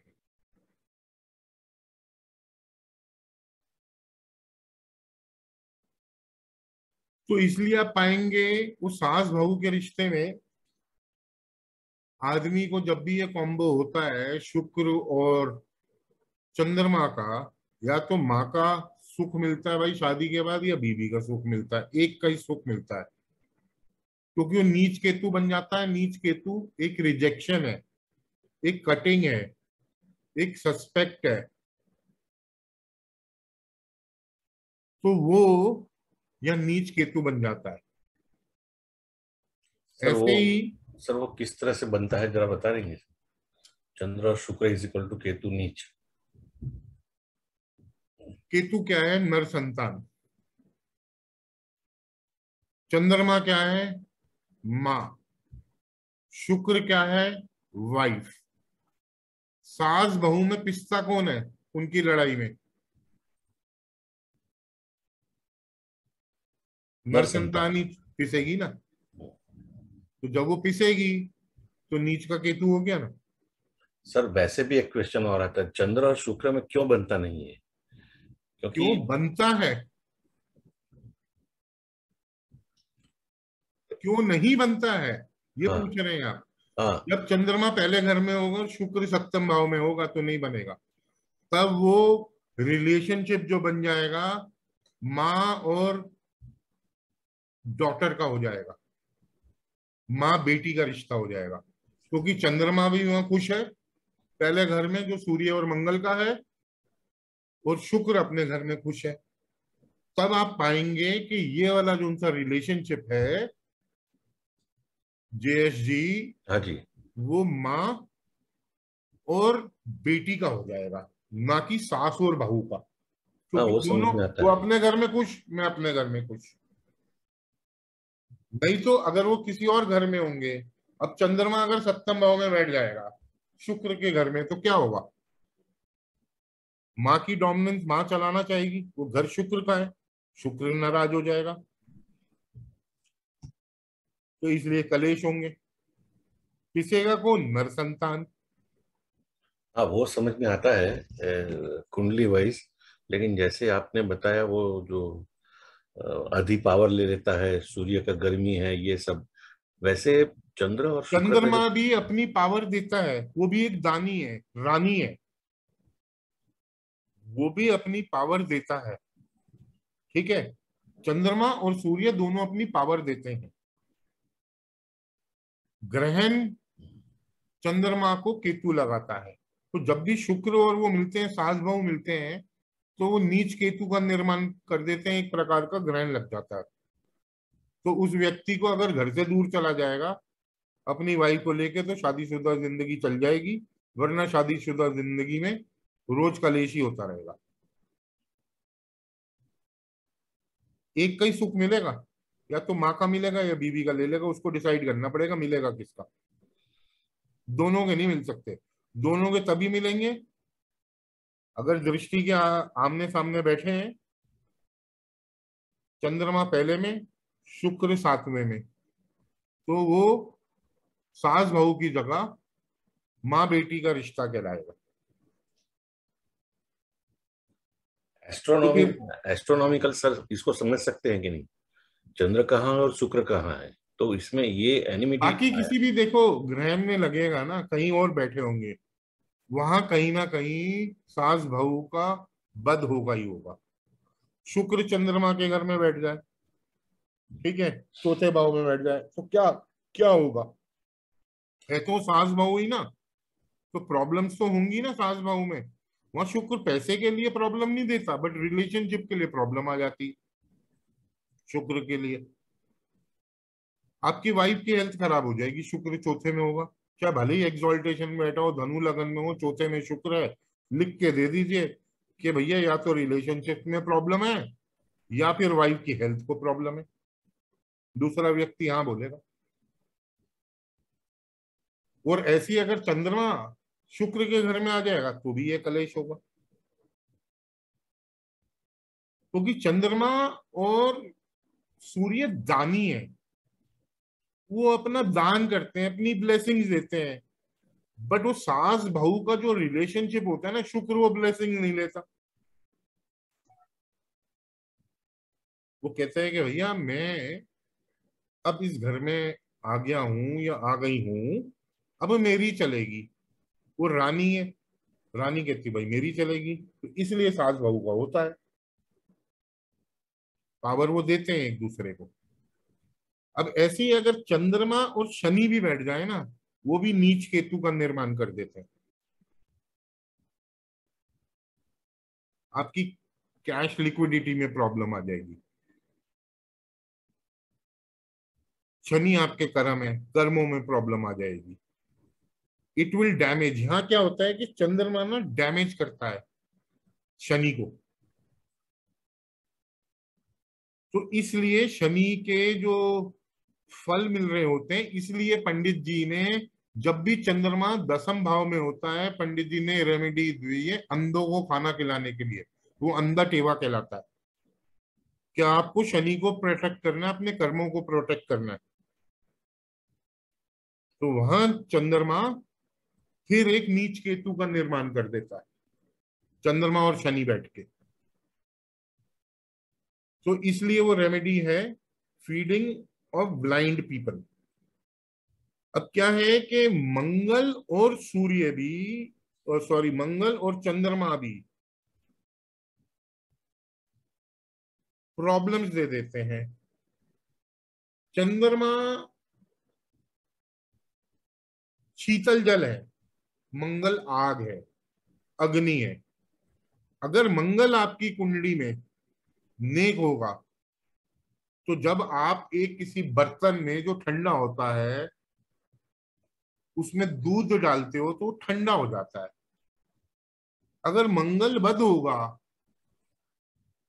तो वो जो बर्तन जैसे आप गैस पे दूध उबालते हैं ना, वो अगर बर्तन इतना ज़्यादा मंगल बद होगा, हीट हो जाएगी तो स्पिल करता है। वो दूध छलक जाता है। तो मंगल बद है, वो निशानी है कि भाई आपकी कैश लिक्विडिटी में प्रॉब्लम आने वाली है। इन दोनों का मेल कहाँ होता है? मंगल और चंद्रमा का, किचन में ही होता है। जब आप पानी उबाल रहे हो या कोई दूध उबाल रहे हो और वो अगर छलके बाहर स्पिल करे, इसलिए हमारे पुराने बुज़ुर्ग लोग बोलते थे ना कि दूध का गिरना या स्पिल होना अशुभ माना जाता था। वो इसलिए अशुभ माना जाता था वहाँ मंगल नेक का निर्माण हो जाता है। अगर आपकी कुंडली में मंगल नेक नहीं है मंगल बद है तो चंद्रमा मंगल को ठंडा कर देता है। सर एक बार आप ये नेक क्या बद वाला मुझे समझ में नहीं आता। एक्सप्लेनेशन हो गया क्या पहले? ये नेक क्या नहीं, और बद क्या नहीं हुआ। हम जब मंगल पूरा करेंगे। अभी बस आप जय साहब ये वर्ड्स को याद रखिए कि ये मंगल बद बनेगा ये मंगल निर्माण बनेगा ठीक है? मंगल खुशी है मंगल पार्टनरशिप्स है मंगल छोटा भाई है मंगल हाँ, कोर्ट वो- कचहरी है सब मंगल लड़ाई झगड़ा है वो सब पता है वो वो सब आपको पता है। हाँ जी हाँ जी। जब भी सूर्य मंग सूर्य शनि के घर में बैठेगा मंगल बद पिसेगा इन दोनों की लड़ाइयों में मंगल पिस जाएगा ठीक है? ऐसे ही क्योंकि चंद्रमा भी दानी है। चंद्रमा कंट्रोल कर लेता है मंगल को क्योंकि मंगल गर्म है।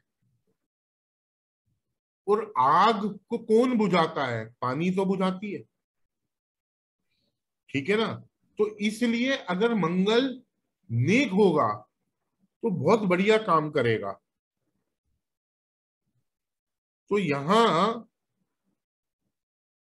आपको ये याद रखना है क्योंकि मंगल नेक के समय में आपको बड़े अच्छे रिजल्ट्स मिलते हैं सूर्य को। यहाँ मंगल नेक में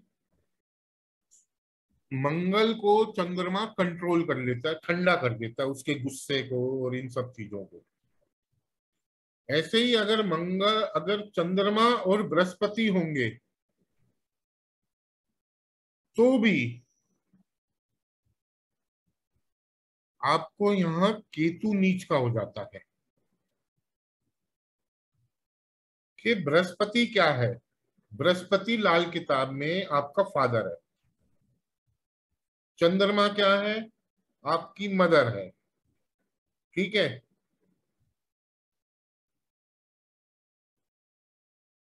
तो अगर आपकी कुंडली में मंगल नेक है तो मदर और फादर में जो है उनकी रिलेशनशिप्स अच्छी चलेंगी। अगर मंगल बद है फादर और मदर में तालमेल नहीं है तो यहाँ केतु खराब हो जाता है और किसी नर, नर संतान है।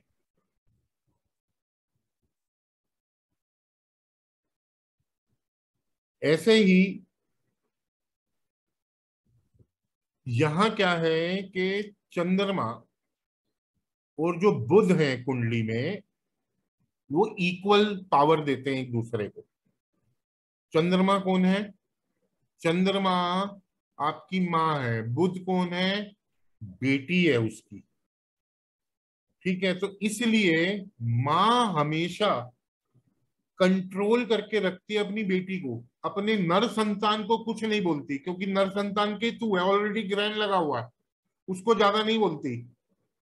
वो अपनी बेटी के पीछे पड़ी रहती है, कि ऐसे नहीं करना और वैसे नहीं करना। क्योंकि बेटी कौन है? बुध है। बुद्ध एक दायरा है, एक बाउंड्री है। तो जो माँ बेटी का भी विवाद है। ये कुंडली में ये बुद्ध और चंद्रमा करते हैं। अगर बुद्ध की प्लेसमेंट अच्छी है,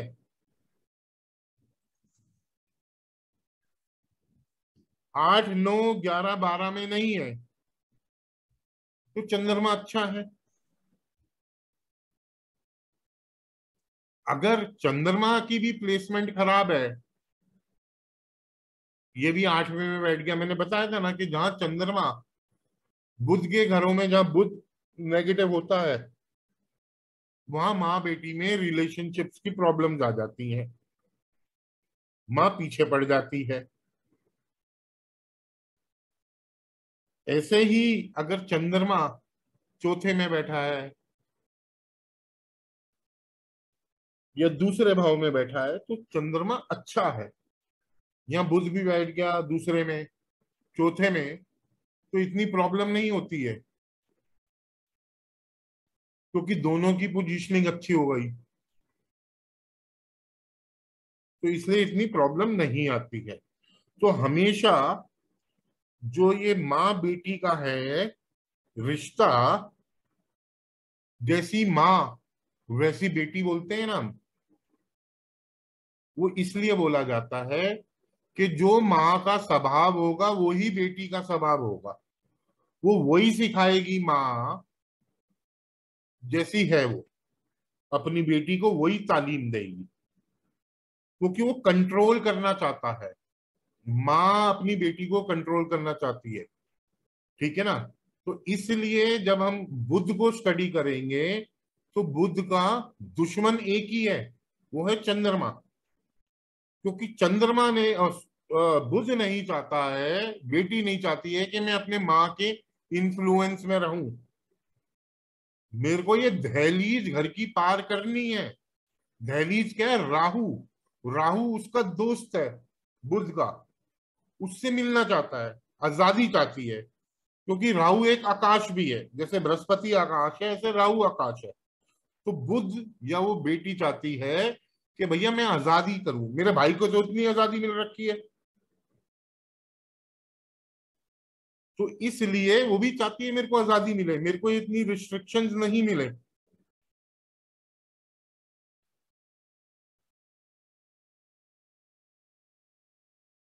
तो इसलिए आप देख सकते हैं कि जब भी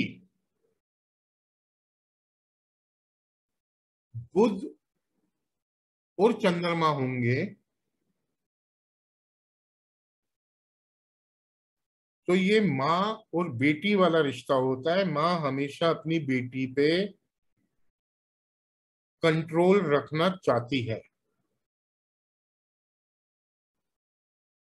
यहाँ जब चंद्रमा और राहु होते हैं, जैसे सूर्य को आधा ग्रहण लगता है, वैसे ही चंद्रमा को भी आधा ग्रहण लगाता है राहु।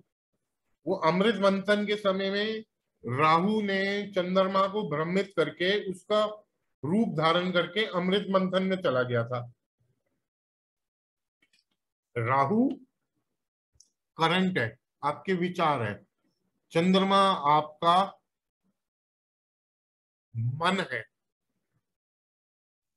तो ये ना चंद्रमा आपका थिंकिंग प्रोसेस है। आपका सबकॉन्शियस माइंड है। तो राहु यहाँ इसको इतना एक्सपैंड कर देता है, इस प्रोसेस को अगर खराब हो राहु तो वो व्यक्ति को एक तरह से पागल भी बना देता है। राहु, यहाँ बैठ के।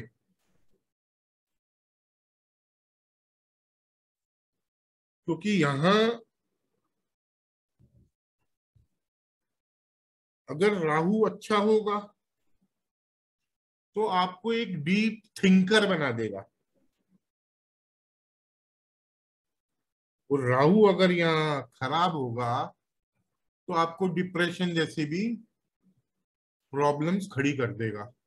आपको नींद की प्रॉब्लम दे देगा इंसोमिया जैसी प्रॉब्लम्स यहाँ दे देगा।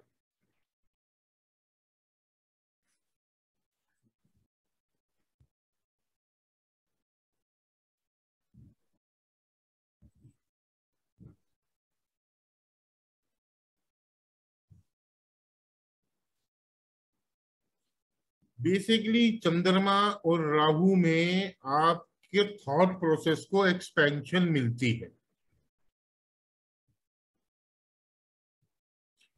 आपने देखा होगा, जो ये पागल लोग हैं ना, इनका दिमाग 24 घंटे चलता रहता है। इनका दिमाग रेस्ट ही नहीं करता है, सोता ही नहीं है। तो यहाँ चंद्रमा और राहु इन सोमिया जैसे भी प्रॉब्लम दे देते हैं। ना सोने की वो प्रॉब्लम जो होती है। जी अच्छा, बोलिए। चंद्र और राहु में से राहु खराब होने से ये होगा। मतलब राहु के जो शत्रु ग्रह है इससे राहु खराब होगा। तो जी क्योंकि क्या है कि मैंने यहाँ लिखा ना राहु के पास इक्वल पावर होती है। ठीक है, सम ग्रहों में लिखा है यहाँ, अगर आप देखेंगे राहु। ठीक है, ये ग्रहण लगाता है चंद्रमा को, राहु। बट आधा ग्रहण लगाता है। चंद्रमा आपका सबकॉन्शियस माइंड है, आपका मन है तो राहु एक्सपेंशन है। तो राहु की कोई लिमिट्स नहीं है। तो आप पाएँगे मन को इतना ज़्यादा एक्सपैंड कर देता है। राहु आपके मन के गलत भाव है। तो जब भी अगर राहु खराब होगा आपकी कुंडली में और चंद्रमा को वो आधा ग्रहण लगा देता है बट अगर राहु अच्छा होगा, यही कॉम्बो आपको जे साहब एक डीप थिंकर भी बना देगा। आपको ये जैसे होते हैं ना इमेजिनेटिव प्रोफेशन में, कोई स्क्रिप्ट राइटर्स होते हैं, वैसे प्रोफेशन में भी ला सकता है, नहीं तो ये पागल भी कर सकता है ये कॉम्बो आपको। ऐसे लोगों के पास एक्स्ट्रा ऑर्डिनरी दिमाग होता है। वो रात को भी सोते सोते कुछ ना कुछ इमेजिनेशन करते रहते हैं, क्योंकि दिमाग सोता ही नहीं है, मन सोता ही नहीं है। क्योंकि यहाँ आदि पावर दे देता है चंद्रमा राहु को। जैसे सूर्य आदि पावर केतु को देता है, ऐसे ही चंद्रमा भी आदि पावर अपनी राहु को दे देता है यहाँ।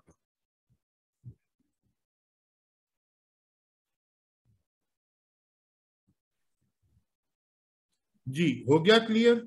नहीं, मेरा कहना यह है कि राहु ये तो पॉजिटिव हुआ, चंद्र ने आधा पावर दे दिया तब जाके यह पॉजिटिव वर्क हो रहा है। लेकिन पागलपन या डिप्रेशन या आत्महत्या जो कुछ भी हो रहा है वो बुरे राहु की वजह से आत्महत्या तो, सूर्य राहु आपको चंद्रमा राहु में नहीं होती। अच्छा डिप्रेशन या फिर सुसाइड होती है आपको बुध और राहु में। अच्छा नहीं राहु यहाँ कैसे खराब होता है वो मुझे जानना है। किसकी वजह राहु की प्लेसमेंट है ना उन घरों में खराब होता है राहु। अच्छा प्लेसमेंट प्लस शत्रु ग्रहों के साथ। जी ऑब्वियसली शत्रु ग्रहों से पीड़ित है तो, तो खराब हो जाएगा राहु। वैसे तो राहु अच्छा होता है चंद्रमा के लिए। चंद्रमा चीटिंग है। चंद्रमा राहु में अगर कॉम्बो है तो आपको चीटिंग तक करवा सकता है ये कॉम्बो तीसरे घर में कॉम्बो है ना लिख के दे देना राहु चंद्रमा बहन भाइयों से चीटिंग मिलेगी। क्योंकि फिकल माइंडेड चंद्रमा है नेगेटिव चंद्रमा। और राहु एक्सपेंशन है। तो इसलिए आपको चीटिंग तक करवा देता है चंद्रमा राहु का कॉम्बो ठीक एक्सपैंड कर देता है।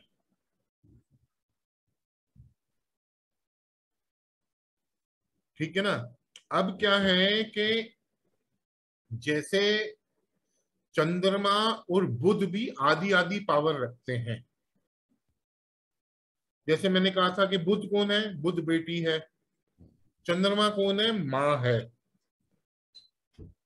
तो यहाँ जब भी लड़ाई होती है माँ बेटी की, उसमें अगर आपकी कुंडली में बृहस्पति अच्छा है तो कंट्रोल हो जाता है, क्योंकि बृहस्पति कौन है? फादर कौन समझौता करता है आके? फादर माँ बेटी के बीच में। तो अगर बृहस्पति कुंडली में ठीक है तो ये जो विवाद माँ बेटी के होते हैं, उसको कंट्रोल करता है बृहस्पति। क्योंकि क्या है ना कि एक जो कन्या होती है वो शादी तक बुध रहती है कोई भी फीमेल शादी के बाद वो शुक्र बन जाती है। करेक्ट और जब वो संतान को जन्म देती है यानी कि केतु आ जाता है चंद्र हो जाएगी। वो चंद्रमा बन जाती है माँ बन जाती है। तो इसलिए ये जो प्रोसेस है ट्रांसफॉर्मेशन का, एक फीमेल की कुंडली में, वो वो तब तक शुक्र ही कहलाएगी जब तक वो एक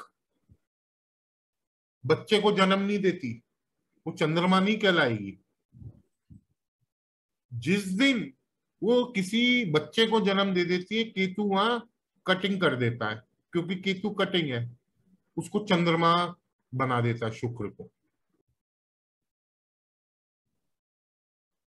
अगर कोई लड़की कुंवारी रहेगी तो बुध ही कहलाएगी।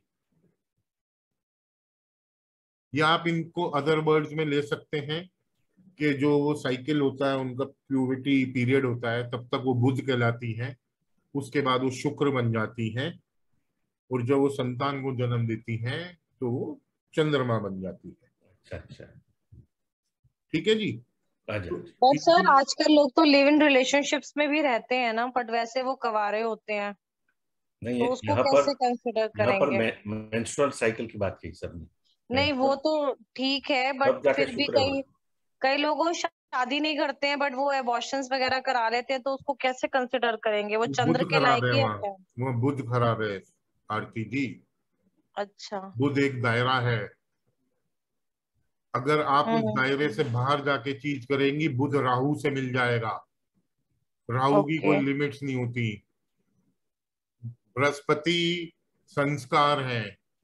तो राहु का काम है बृहस्पति को ग्रहण लगा के संस्कारों के विपरीत जाना।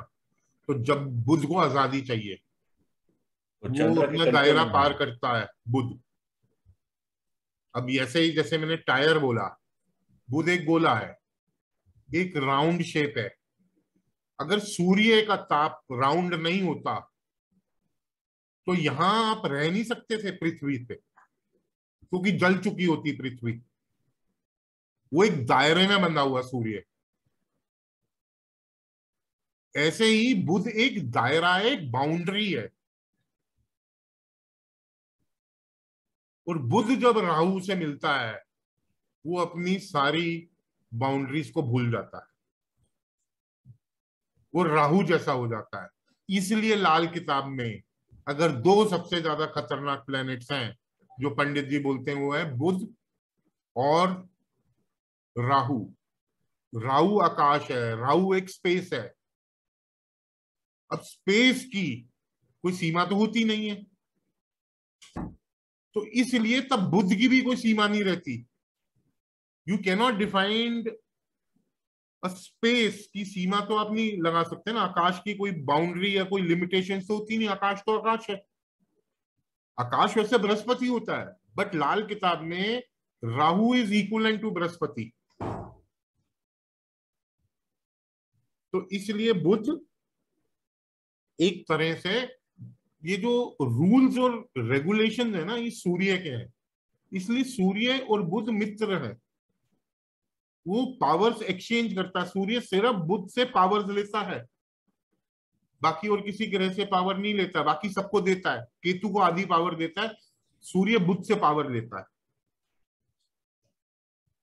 तभी वो एक दायरे में रहता है सूर्य उस पावर की वजह से। इसलिए वो राउंड शेप है। समझ रहे हैं कुछ? थोड़ा थोड़ा सर वैसे भी सूर्य के नज़दीक का ग्रह है ना बुध? जी। तो वो एक दायरा है ना इसलिए सूर्य को बाँध देता है। सर वो ठीक है मेरा क्वेश्चन ये है कि आजकल आपने देखा होगा छोटी छोटी लड़कियाँ हैं पंद्रह साल सोलह साल अठारह साल वो लोग रिलेशनशिप में जल्दी आ जाते हैं और उसके बाद एबॉर्शन भी करा लेते हैं बच्चा पैदा नहीं करते तो उसको हम किस कैटेगरी में मतलब कंसिडर करेंगे? वो चंद्र कहलाई जाएँगी या वो शुक्र कहलाई जाएँगी या क्या होगा मतलब? हम क्या समझेंगे? मैं वो समझना चाह रही हूँ कि शादी तो हुई नहीं है और वो रिलेशनशिप भी बनाया और एबॉर्शन भी करा लिया। जी। अगर किसी ने आके हमें बताया क्लाइंट ने कोई यंग आया और उसने बोला कि मेरे साथ ऐसे ऐसे हुआ तो मैं उसको किस कैटेगरी में कंसिडर करूँगी?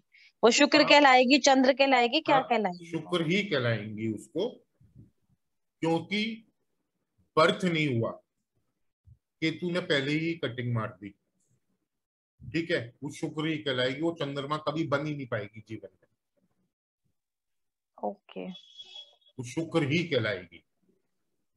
वो शुक्र और राहु वाला शुक्र बन जाएगी। हाँ राहु से दूषित हो गई। ठीक है? जो एक वैसे अभी मैं शुक्र पढ़ाऊँगा तो आपको ज़्यादा आसानी से समझ में आ जाएगा कि कैसे राहु एक दहलीज है। वो दहलीज पार कर देती है। तो उसको मैं अभी पढ़ाता हूँ आपको। ठीक है? तो बेसिकली अब आप समझ गए यस यस कि चंद्रमा और इसका क्या रिलेशनशिप है माँ बेटी का? चंद्र के कंट्रोल में नहीं रही ये बुध। तब जाके शुक्र हो गई राहु से दूषित हो गई। ये सब प्रोसेस हुआ। तो ये प्रोसेस है। अब क्या शुक्र पे ही आ जाते हैं? आरती जी की ये जो क्वेश्चन है इसका आंसर दे देते हैं। शुक्र जो सा है समग्रह गुरु है और मंगल है उसमें। ये इक्वल पावर्स करते हैं दे आर इक्वली स्ट्रॉन्ग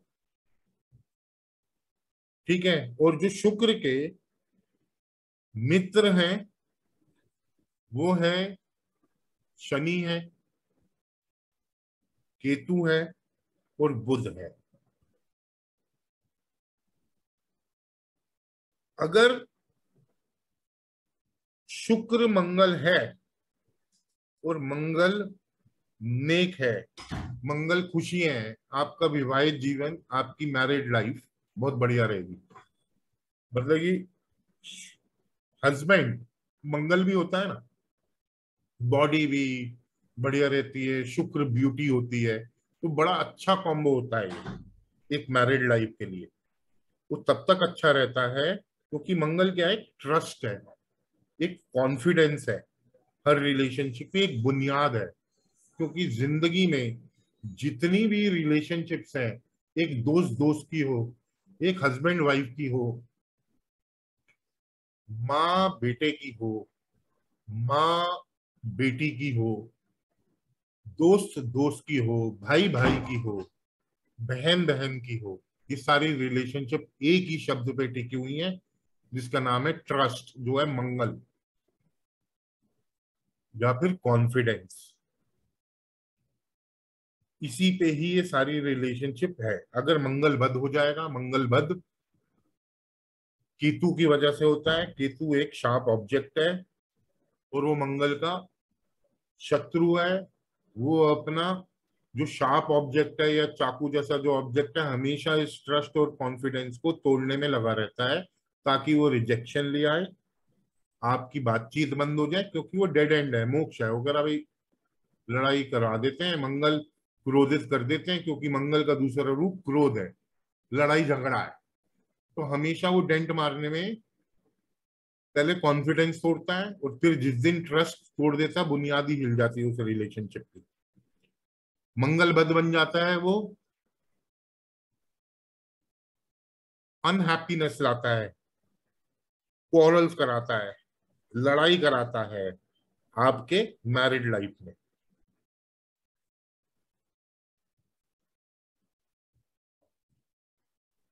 तो मंगल पे डिपेंड होता है कि भैया रिलेशनशिप कैसी है। अगर मंगल ने कहे तो रिलेशनशिप एक मियाँ बीबी की बहुत बढ़िया चलेगी। अगर मंगल बद है तो रिलेशनशिप्स में प्रॉब्लम आएगी। वो तो कहते हैं ना, एक राम मिलाए जोड़ी, एक अंधा और एक कोड़ी। संबंध है ये युति है, एक ही लीगल पार्टनरशिप है। मंगल हस्बैंड भी है मंगल नाड़ी में और शुक्र वाइफ भी है। तो उन दोनों का लीगल पार्टनरशिप है जन्म जन्म का एक संगम है जिसे हम सत्संग बोलते हैं। एक दूसरे से वो एनर्जीज एक्सचेंज करते हैं। इसलिए इन दोनों के पास इक्वल पावर होती है शुक्र और मंगल को। गुरु जी एक बात गुरु जी जी। आ, जो समग्र है ना उसके उसके साथ उसको जो प्लानेट सपोज़ मान लीजिए जुपिटर का समग्र केतु और शनि है तो उसको साथ पावर एक्सचेंज होगा ना? और किसी के साथ नहीं होगा? फ्रेंडशिप के साथ नहीं होगा? इन, इन, मतलब ये शुक्र और इसमें ना both will act equally strong Mangal will also act equally strong and Venus will also act equally strong ठीक है? बट कहीं ना कहीं वो कहते हैं ना कि हमारे भैया मेल का अपर हैंड रहता है। तो अगर मंगल नेक होगा तो बढ़िया चलेगा। अगर मंगल बद हो जाएगा तो खराब हो जाएगी रिलेशनशिप ठीक है? चलिए, अब शुक्र के साथ में बता देता हूँ, मंगल और शुक्र का क्या है? मंगल और शुक्र में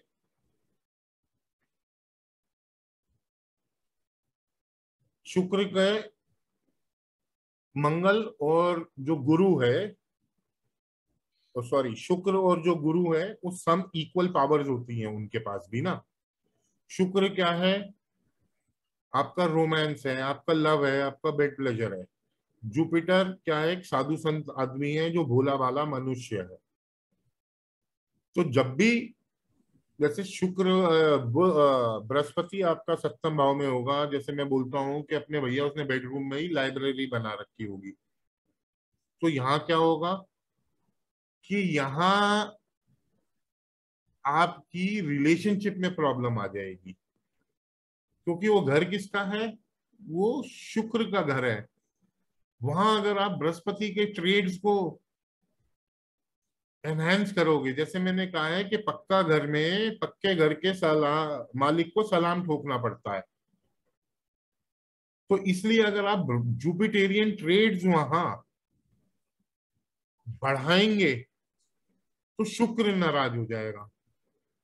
जुपिटर सप्तम वाले के लिए जितने वो कपड़ों का दान करेगा, खुद ही वस्त्रहीन हो जाएगा। जुपिटर सप्तम के लिए कहा जाता है, घर गृहस्थी में फंसा साधु, उसे कोई लेना देना ही नहीं है, वो तो साधु आदमी है। तो इसलिए वो पढ़ना ही नहीं चाहता। बट जब भी ना, शुक्र और बृहस्पति मिलते हैं, एक दैत्यों का गुरु है, एक देव गुरु है। जब भी दो गुरु मिलते हैं वो उच्च शनि का निर्माण करते हैं आपकी कुंडली में। इसलिए शनि सप्तम भाव में एक्सोल्टेशन पाता है। सप्तम भाव उसके दोस्तों का भी है। पक्का घर वो बुद्ध का है और वो पक्का घर शुक्र का है, जो कि शनि के मित्र हैं। शनि ने इसीलिए यही घर चुना है अपनी एक्सोल्टेशन के लिए। दसवां भी चुन सकता था। बट आपकी कुंडली में ज़्यादा एक्सोल्टेशन शनि प्रॉब्लमेटिक भी होता है। क्योंकि शनि एक सेपरेटिव प्लैनेट है, एक आइसोलेशन का प्लैनेट है, क्योंकि शनि का जो बचपन बीता है, वो जंगलों में बीता है। तो आपको सेपरेशन की तरफ़ भी खींच देता है शनि।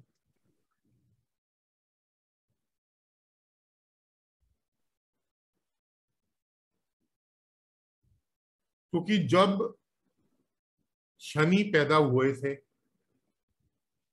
वो छाया से पैदा हुए थे, जो शनि की माता श्री थी।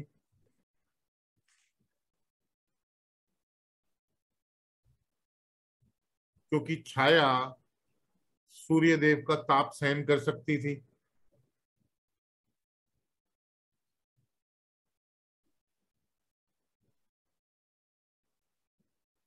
तो छाया में जब सूर्य देव और शुक्र का जो मेल हुआ था, वो शैडो प्लेनेट था मतलब कि छाया थी तो काले हुए शनिदेव। इसलिए शुक्र सूर्य ने जब उनका मुँह देखा, उन्होंने कहा, मेरा ये तो बेटा ही नहीं है। मेरे तो बेटे तेज वाले होने चाहिए, गोरे होने चाहिए। उनमें तो सूर्य का प्रकाश होना चाहिए तो काला है। तो तब सूर्य ने, तब शनि ने अपनी आँखों से देखा था उनको और एक ग्रहण जैसा लगाया था। तो शनि देव को, सूर्य ने एक श्राप दे दिया था छाया को कि इसको मेरी आँखों से दूर ले जाना। अगर ये दिन के उजाले में आया तो ये भस्म हो जाएगा। तो इसलिए छाया देवी शनि देव को जंगल में ही रखती थी। रात्रि के समय उनसे मिलने जाती थी क्योंकि जंगल में धूप कम आती है। तो इसलिए वो जंगल में ही रहते थे। इसलिए सेपरेटेड प्लानिट है। तो आपकी कुंडली में शनि का उच्च होना भी मैरिड लाइफ के लिए कहीं ना कहीं प्रॉब्लम देता है। कहने का अर्थ ये है।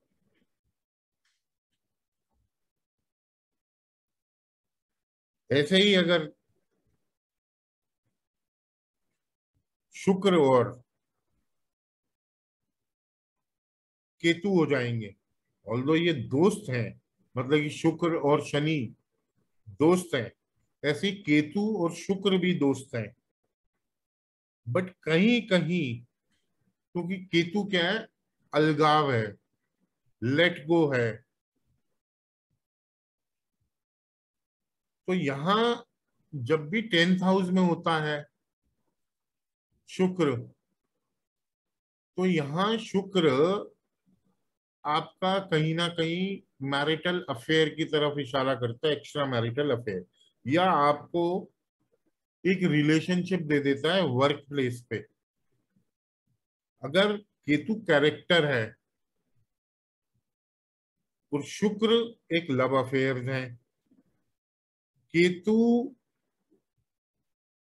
झंडा है, ध्वज भी है, केतु हिडननेस भी है तो आप पाएँगे शुक्र दस वालों के लिए यहाँ उनके किसी ना किसी प्रकार के मैरिटल अफेयर्स भी होते हैं और कोई ना कोई उनकी हिडननेस भी रहती है।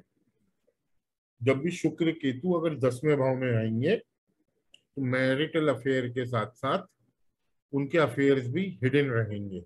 ये सेम कॉम्बो अगर शुक्र और केतु का छठे घर में हो जाएगा तो भी प्रॉब्लम देती है ये कॉम्बिनेशन बट शुक्र और केतु बारहवें घर में बढ़िया रिज़ल्ट देते हैं। कुछ घरों में खराब रिज़ल्ट देते हैं। शुक्र दस वाले को कहते हैं जोरू का गुलाम भी। कभी भी कोई किसी का शुक्र दस में हुआ बोल दीजिए भैया तू जोरू का गुलाम है क्या? वो बोलेगा जी हाँ हूँ मैं। केतु सप्तम में होगा तो भी बोल दीजिए जोरू का गुलाम हो क्या? वो बोलेगा जी हाँ मैं जोरू का गुलाम हूँ। फीमेल के चार्ट में सर फीमेल के हो मेल में हो। केतु सप्तम में लेके बैठा है तो अपना जोरू का गुलाम होगा सुनेगा उसके लिए अच्छा है। अगर बीवी की सुनेगा तो ही राइज करेगा।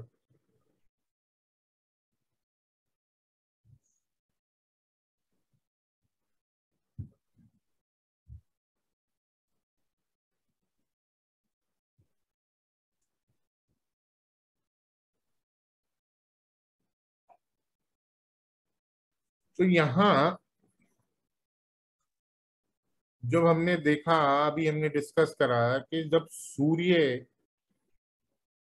और शुक्र रहते हैं, वो इनके दुश्मन हैं एनिमीज हैं।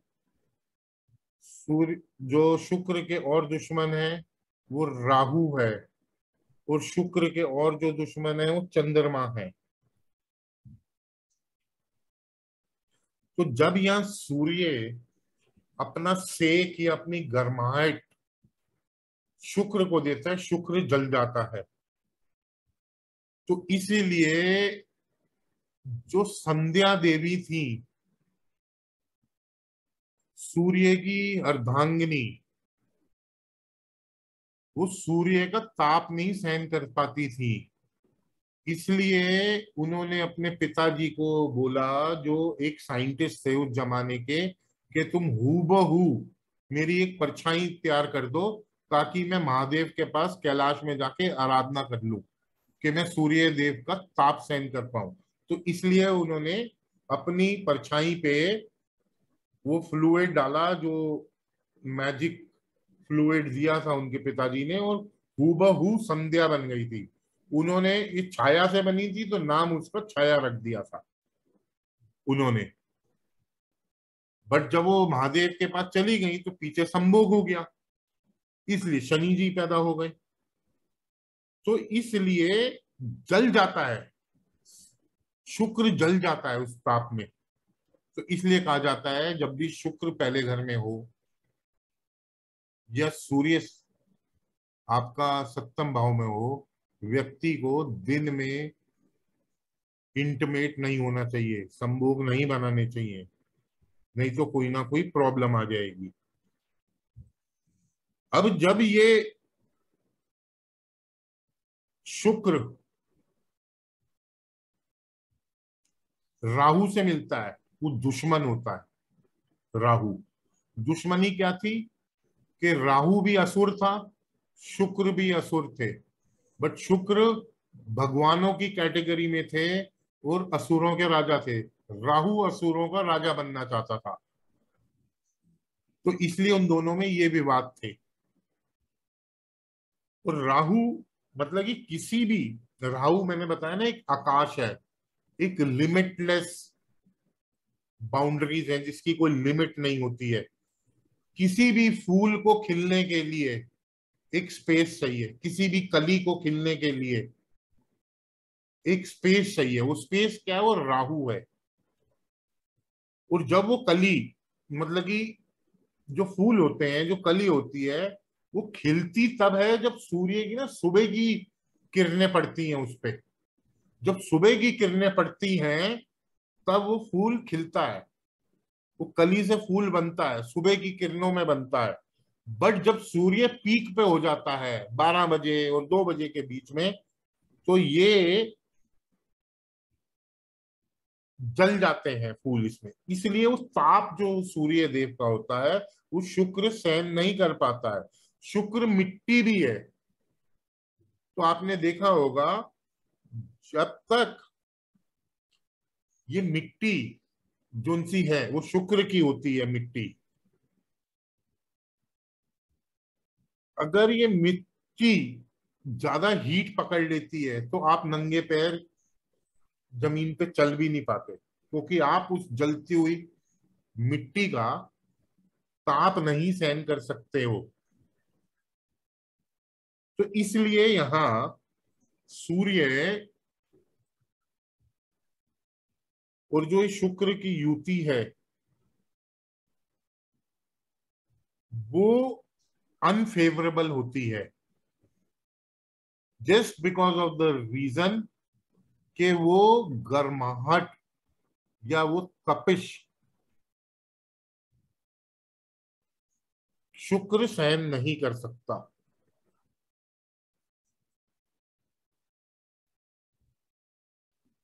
तो इसलिए वो अपनी पावर तो दे ही देता है। शुक्र जो शुक्र है वो मतलब कि सहन नहीं कर पाता क्योंकि सूर्य दुश्मन है। तो उसने तो पावर देनी है सूर्य ने तो इसलिए वो पूरी पावर सहन नहीं कर पाता। ऐसे ही अगर शुक्र और चंद्रमा हो, जो चंद्रमा भी एक दुश्मन है शुक्र का, ये जैसे मैंने बताया, सास बहु वाला है, हिसाब किताब शुक्र और चंद्रमा में जो मैंने डिस्कस कर लिया, अगर पहले भाव में होगा, चंद्रमा और सप्तम भाव में शुक्र होगा तो वो जो रिलेशनशिप रहेगा, वो माँ बेटी का होगा। अगर किसी और घर में हो, अगर चंद्रमा सप्तम में होगा, उसको लक्ष्मी का अवतार तो बोला जाता है। बट रिलेशनशिप्स के लिए सास बहू की वहाँ टसल चलती रहेगी। क्योंकि तो शुक्र क्या है, जब राहु जो एक और दुश्मन है शुक्र का, राहु खुला आकाश है। राहु की कोई सीमाएँ नहीं होती। शुक्र मिट्टी है। तो जब ये धूल उड़ती है ना सड़कों पे, ये नेगेटिव शुक्र है। क्योंकि जब राहु एक दहलीज है, जब कोई फीमेल अपने घर की दहलीज पार कर देती है तो वो राहु जैसी बन जाती है राहु शुक्र को अपना जैसा बना देता अवारा बना देता है अनएथिकल चीज़ें करा देता है। तो जब तक हमारे पुराने बड़े बुज़ुर्ग कहते थे कि जब तक कोई औरत दहलीज पार नहीं करती है तो वो अच्छी है।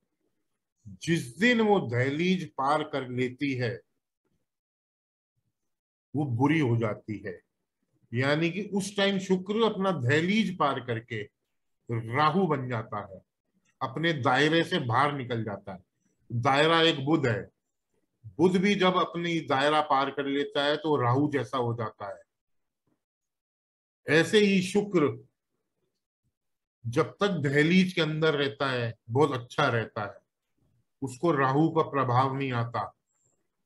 जब वो मिट्टी ना उपजाऊ रहती है, जिस दिन ये मिट्टी धूल बन जाती है, उस दिन वो आंधी का रूप ले लेती है डस्ट स्ट्रॉम का रूप ले लेती है। वो स्थिर बैठती ही नहीं है, क्योंकि शुक्र मिट्टी है, राहु की कोई सीमाएँ नहीं है। इसलिए वो मिट्टी धूल उड़ती है जिसकी कोई सीमाएँ नहीं होती है। कोई बाउंड्रीज नहीं होती है कोई लिमिटेशंस नहीं होती है। तो शुक्र और राहु यहाँ जब भी वो घर की दहली शुक्र पार करता है तो अवारा बना देता है। तो ये धूल मिट्टी की तरह ये शुक्र उड़ता रहता है। राहु अनएथिकल है। आपको तब शुक्र अगर अपनी दहलीज पार करेगी तो वो अनएथिकल रिलेशनशिप में जाएगी। जैसे आरती जी ने बोला कि आजकल लिव इन है, वो शुक्र और राहु है। क्योंकि वो दहलीज वो दहलीज क्या है? वो राहु है। उसके बाद ग्रहण लगाता है सूर्य को। सूर्य रूल्स बनाता है संस्कार बनाता है मतलब कि रूल्स एंड रेगुलेशन बनाता है। तो जब तक एक औरत या एक बुध उस दहलीज में रहता है या शुक्र उस दहलीज में रहता है मतलब वो कंट्रोल में रहता है। जिस दिन वो दहलीज पार करके निकल जाता है तो राहु जैसा हो जाता है राहु उसको आवारा बना देता है। दहलीज मतलब दहलीज। जी बोलिए। Threshold threshold threshold okay okay ये कोई कुछ बोल रहा है क्या? वो सर उन्होंने बोला शर्मा जी ने दहलीज मींस क्या? मैंने बोला threshold तहजील means the boundary of your house you know the entrance of the house the boundary. Okay okay okay. That is your दहलीज। तो बोलते हैं ना कि जब तक फीमेल घर में रहती है दहलीज नहीं लांगती है। आपको पता है कि सीता जी का हरण कैसे हुआ था? लक्ष्मण जी एक रेखा बना के चले गए थे कि मैं जा रहा हूँ। आप मत दहलीज लांगना जो राम जी बना के गए थे।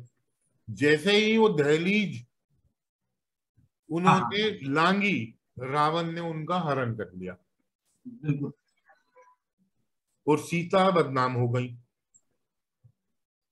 बराबर। आई कुछ समझ में? हाँ बराबर बराबर तो ऐसे ही जब शुक्र अपनी दहलीज लांग देगा तो वो राहु जैसा हो जाएगा। लिमिटलेस एमलेस अनएथिक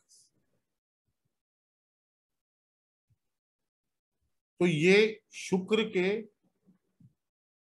जो दुश्मन है वो सूर्य है। मैंने बताया ताप नहीं सहन कर सकता शुक्र। हम्म। राहु है वो एक दहलीज है। जिस दिन शुक्र अपनी दहलीज पार कर लेता है वो राहु जैसा हो जाता है। चंद्रमा और शुक्र खराब प्लेस हो तो सास बहू का रिश्ता का निर्माण कर देते हैं। शुक्र को शनि, केतु और बुध से मदद मिलती है।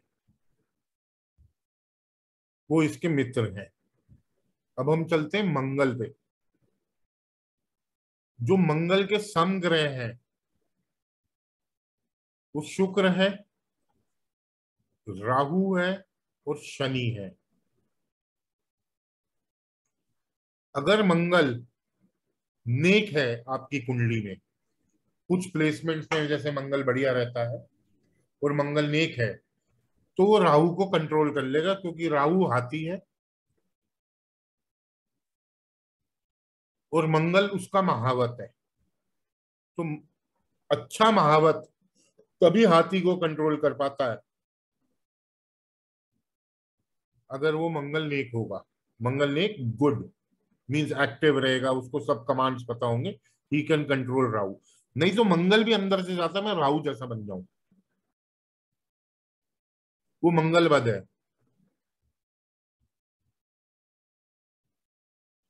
अगर मंगल को सपोर्ट मिलेगा अपने दोस्तों से, मंगल के दोस्त कौन है? सूर्य चंद्र गुरु। तो मंगल नेक है। इनकी पोजीशन भी अच्छी हो और मंगल की भी पोजीशन अच्छी हो तो मंगल नेक होता है। बट कहीं कहीं मंगल बद भी होता है और नेक भी होता है। तो हम उसको बोलते हैं, नेक मिला, बद मिला मंगल। ऐसे अगर चंद्रमा दूसरे भाव में होगा तो मंगल नेक का निर्माण कर देता है। शुक्र नौवे में होगा तो मंगल बद का निर्माण कर देता है। तो कुछ कंडीशन है, जब हम मंगल को पढ़ेंगे तो हम डिटेल में मंगल बद और मंगल नेक पढ़ेंगे।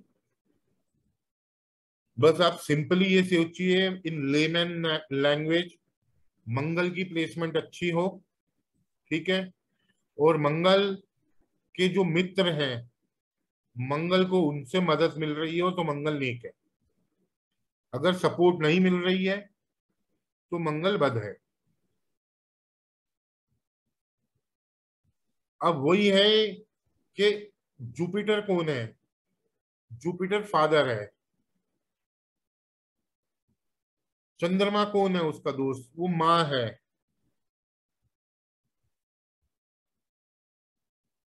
और सूर्य कौन है? सूर्य रूल्स एंड रेगुलेशन है, राजा है, जो बाउंड्रीज या रूल्स रेगुलेशंस बनाता है। मंगल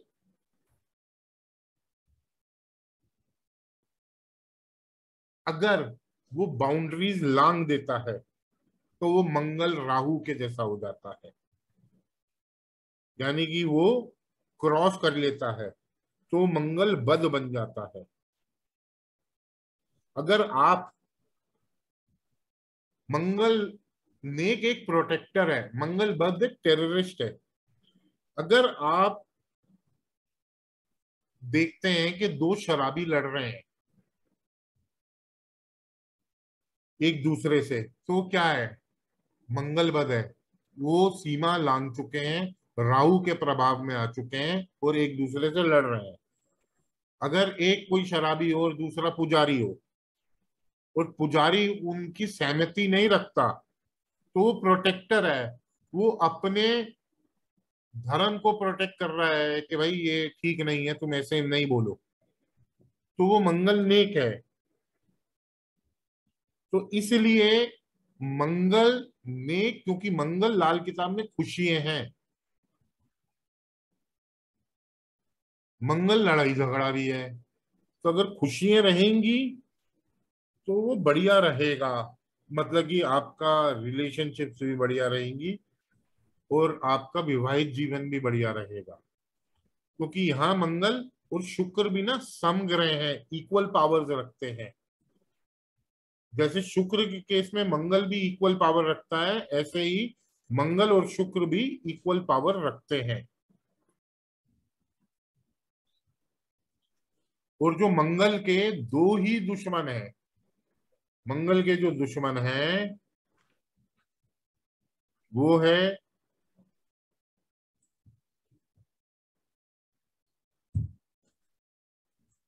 केतु और बुध। शनि भी समग्रह है इक्वल पावर रखता है, मंगल के साथ रह के, केतु और मंगल केतु और बुध उसके जानी दुश्मन है।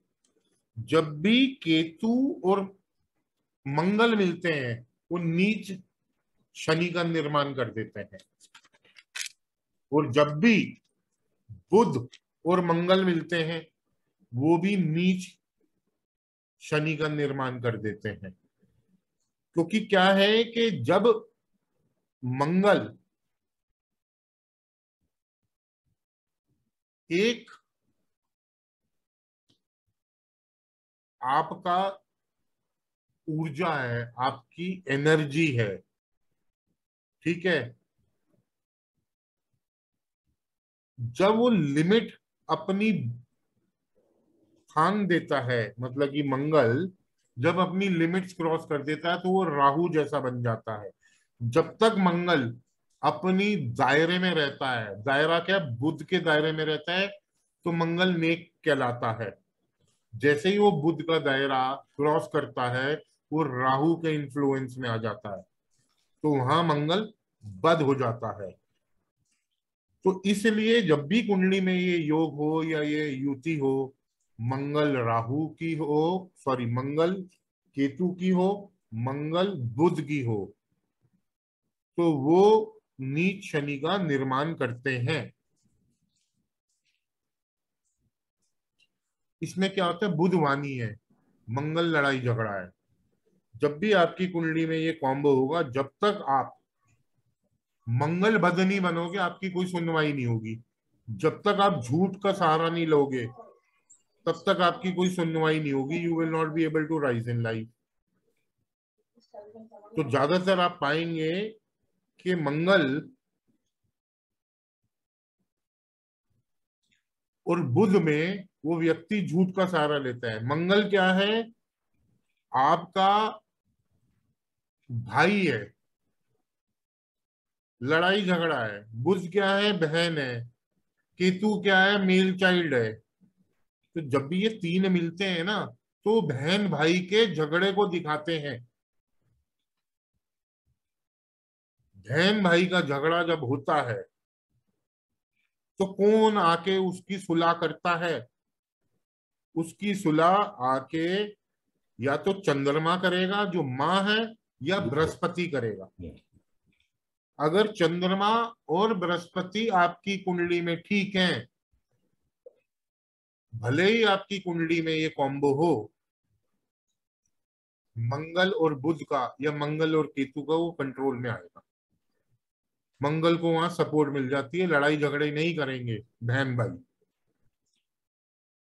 तो इसलिए जब भी केतु मंगल मिलेंगे, या बुध मंगल मिलेंगे, निर्माण नीच शनि का होता है। जब भी सप्तम भाव में मंगल आके बैठता है, एक सेइंग है, मिलेगा सब सब सब रद्दी हो जाएगा। जब मिले, मंगल, बुध से जब। कहने का मतलब है, मंगल और बुद्ध का मिलाव नहीं करना है। लड़ाई झगड़ा हो जाएगा, शनि नीच का हो जाएगा। और मंगल सप्तम में आप पाएँगे, जिसका मंगल सप्तम होगा, उसके घर पे चुनियों का, लाल चुनियों का भंडारा मिलेगा। मतलब कि लाइव वो मिलेगी पूरी, कपड़ों की दुकान मिल जाएगी लाल चुनियों की, कम से कम पचास सौ चुनिया होंगी। तो इसलिए कभी भी मंगल और बुध का मेल नहीं कराना। जब भी नराते हो बुद्ध देवी है, दुर्गा माँ है, लाल चुन्नी मत चढ़ाइए। अगर मंगल सप्तम में वर्षफल में आ रखा है, लाल चुन्नी मत चढ़ाइए। मंगल सप्तम में है बुद्ध के घर में मंगल ताकत है बुद्ध कलम है। कलम में तलवार जैसी ताकत। लिखा करें ज़्यादा। और वो भी हरे पेन से लिखें तो बहुत बढ़िया रहेगा।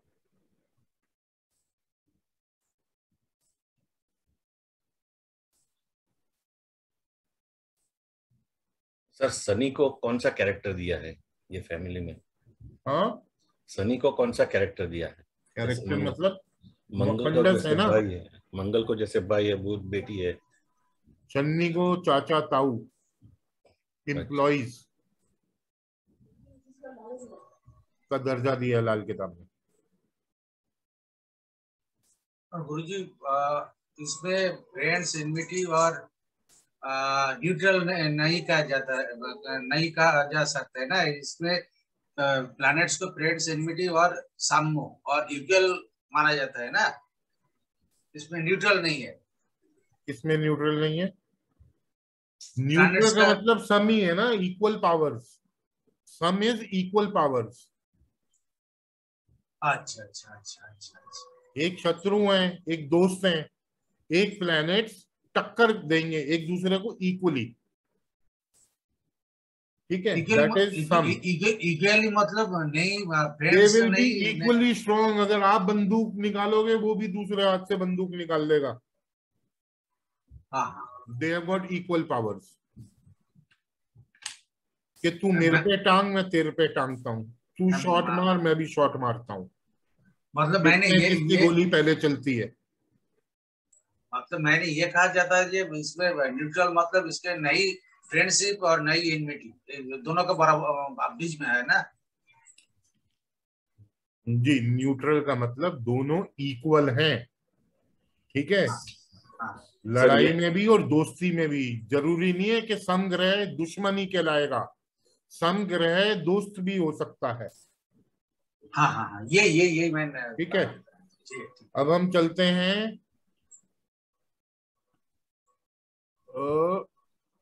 किस पे थे हम मंगल पे ही चल रहे थे ठीक है तो ये मदर फादर मैंने ये आपको सिखाया बता ही दिया है कि तू बुद्ध का क्या है हम्म। सूर्य चंद्रमा और गुरु उसके मित्र हैं सपोर्ट मिलेगा तो मंगल नेक रहेगा हम्म।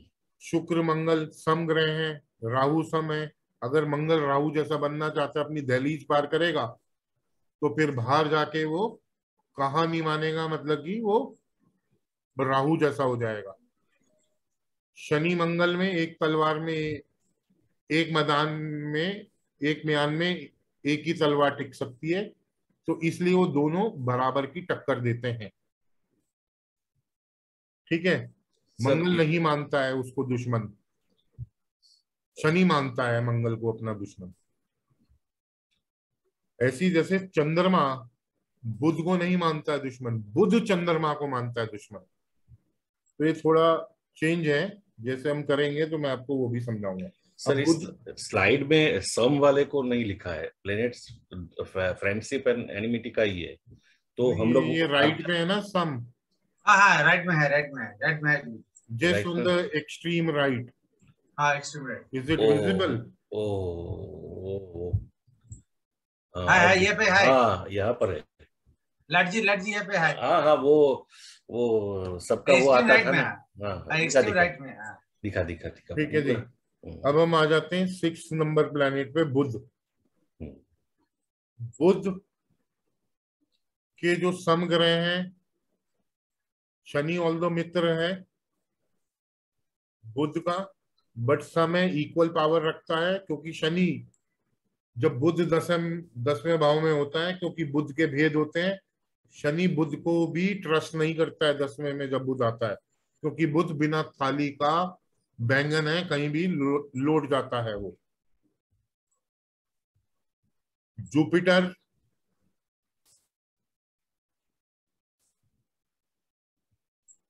जो है वो सम ग्रह है इक्वल पावर रखता है। केतु भी इक्वल पावर रखता है और मंगल भी इक्वल पावर रखता है। यहाँ जो दोस्ती है बुद्ध की उसके दोस्त हैं शुक्र राहु और सूर्य।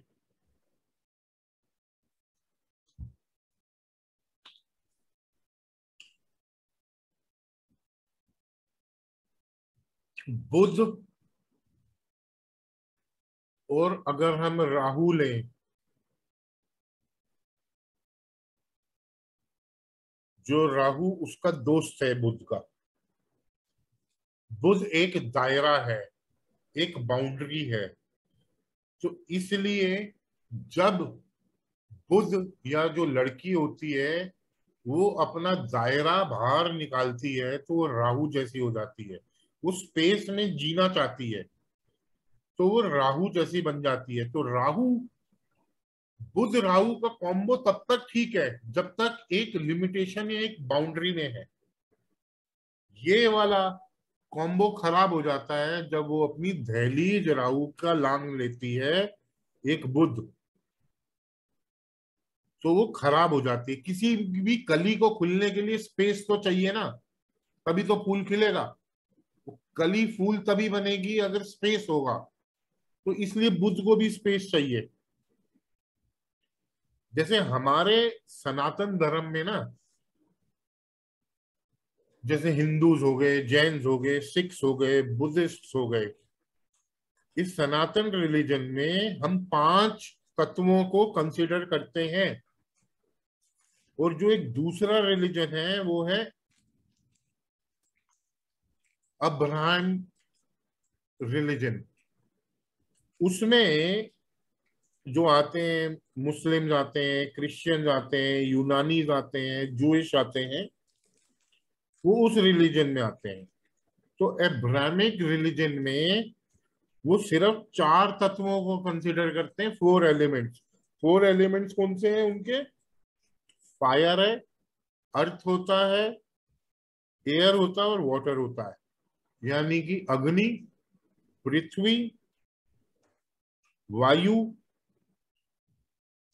और जल। इनको बस वो कंसिडर करते हैं बट हमारे सनातन धर्म में एक स्पेस को, आकाश को भी हम एलिमेंट मानते हैं। तो ये जो सा आकाश है, ये राहु है। जब बुध अपनी दायरा या अपनी दहलीज पार कर लेता है तो राहु के साथ मिल जाता है। और राहु की कोई लिमिट नहीं होती। इसलिए आप बुद्ध का जो भेद है, जो मैं आपको पढ़ाऊँगा, वो आप नहीं इतनी आसानी से कैलकुलेट कर सकते, क्योंकि स्पेस की कोई दायरा नहीं होता। ऑल उसमें दायरा होता है, बुद्ध का दायरा है बट वो इन्फेनाइट होता है। आपको बुध का दायरा नहीं पता चलेगा जब बुध अपनी दहलीज लान लेगा और राहु के साथ मिल जाएगा। तब आपको बुध का दायरा नहीं पड़ेगा। बुध का भेद निकालने के एक फॉर्मूला है जो पंडित जी ने दे रखा है। जब हम बुध का भेद डिस्कस करेंगे, तब हम आपको कैलकुलेट करना मैं सिखाऊँगा कि बुद्ध का भेद कैसे कैलकुलेट करना क्योंकि बुद्ध जिस घर में बैठता है ना उसका भेद ले लेता है। इसलिए शनि उस पर यकीन नहीं करता टेंथ हाउस में।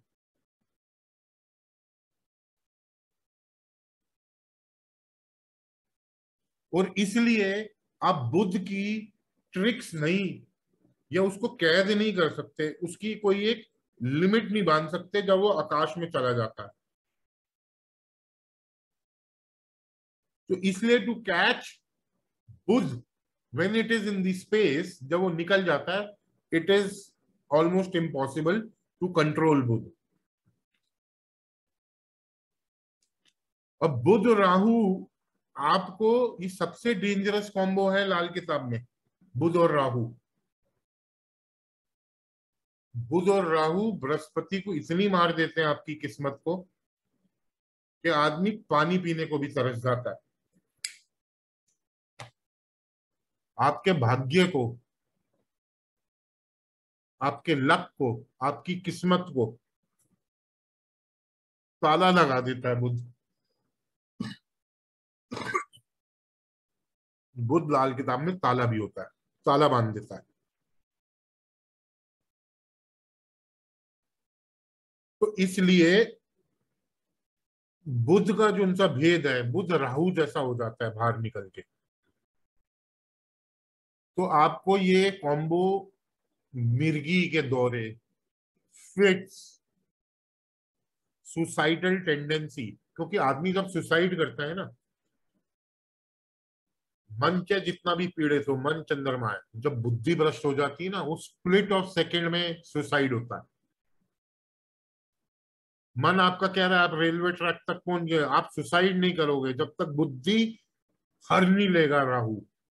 जैसी आपकी बुद्धि हर लेगा राहु, आप सुसाइड कर दोगे। तो इतना खराब कॉम्बिनेशन होता है क्योंकि बुद्ध का दायरा ही नहीं पता होता किसी को। जब बुद्ध अपनी दहलीज लांग लेता है, ऐसे ही बुद्ध के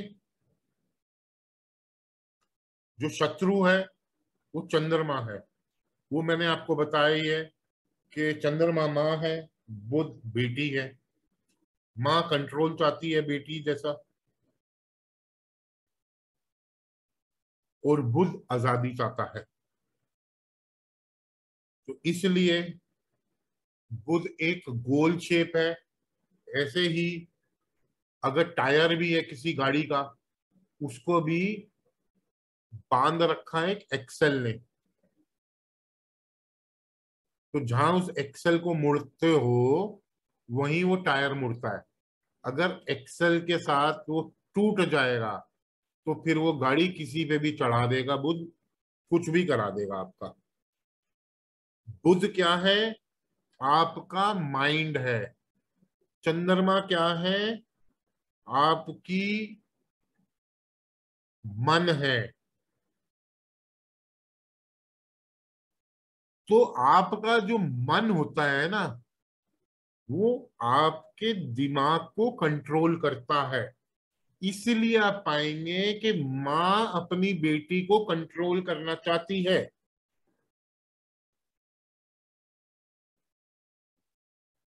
अगर यहाँ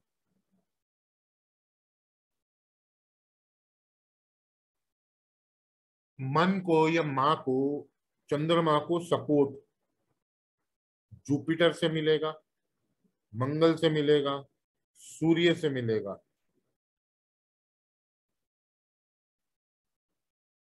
तो यहाँ कंट्रोल में रहता है बुद्ध क्योंकि जो बुद्ध के घर जो अच्छे होते हैं, उसमें चंद्रमा भी अच्छा होता है। जहाँ बुद्ध खराब होता है, वह चंद्रमा भी खराब हो जाता है। बुद्ध यहाँ, मान लो चौथे घर में आ गया चंद्रमा का।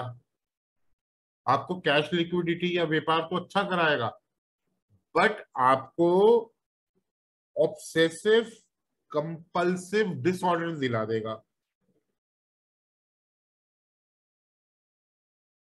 ओसीबी जैसी ओसीडी जैसी प्रॉब्लम दे देगा, यानी कि वहमी नंबर वन बना देगा। क्योंकि तो वहम है, दिमाग का वहम है, मन का वहम है। तो अगर किसी ने ताला मारा है, वो फिर आके चेक करेगा कि भैया ताला मैंने मार दिया या नहीं मार दिया, हाथ धोए हैं, वो भूल जाएगा। तो यहाँ बुद्ध ऐसी प्रॉब्लम्स देता है, चौथे में बैठ के।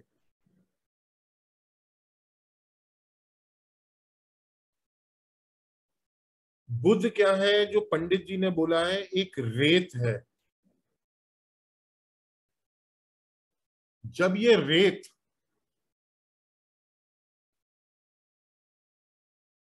एक नदी में बहती है तो चंद्रमा उसको कंट्रोल करता रहता है। वो चंद्रमा के भाव से बहती है, पानी के भाव से रेत बहती है। और वो ठंडी रहती है रेत। जब ये रेत अपना दायरा उस नदी से बाहर आ जाती है तो वो राहु बन जाती है ये रेत। और यहाँ खराब हो जाता है, बुद्ध यानी कि अपनी लिमिट्स लांग लेता है, राहु बन जाता है।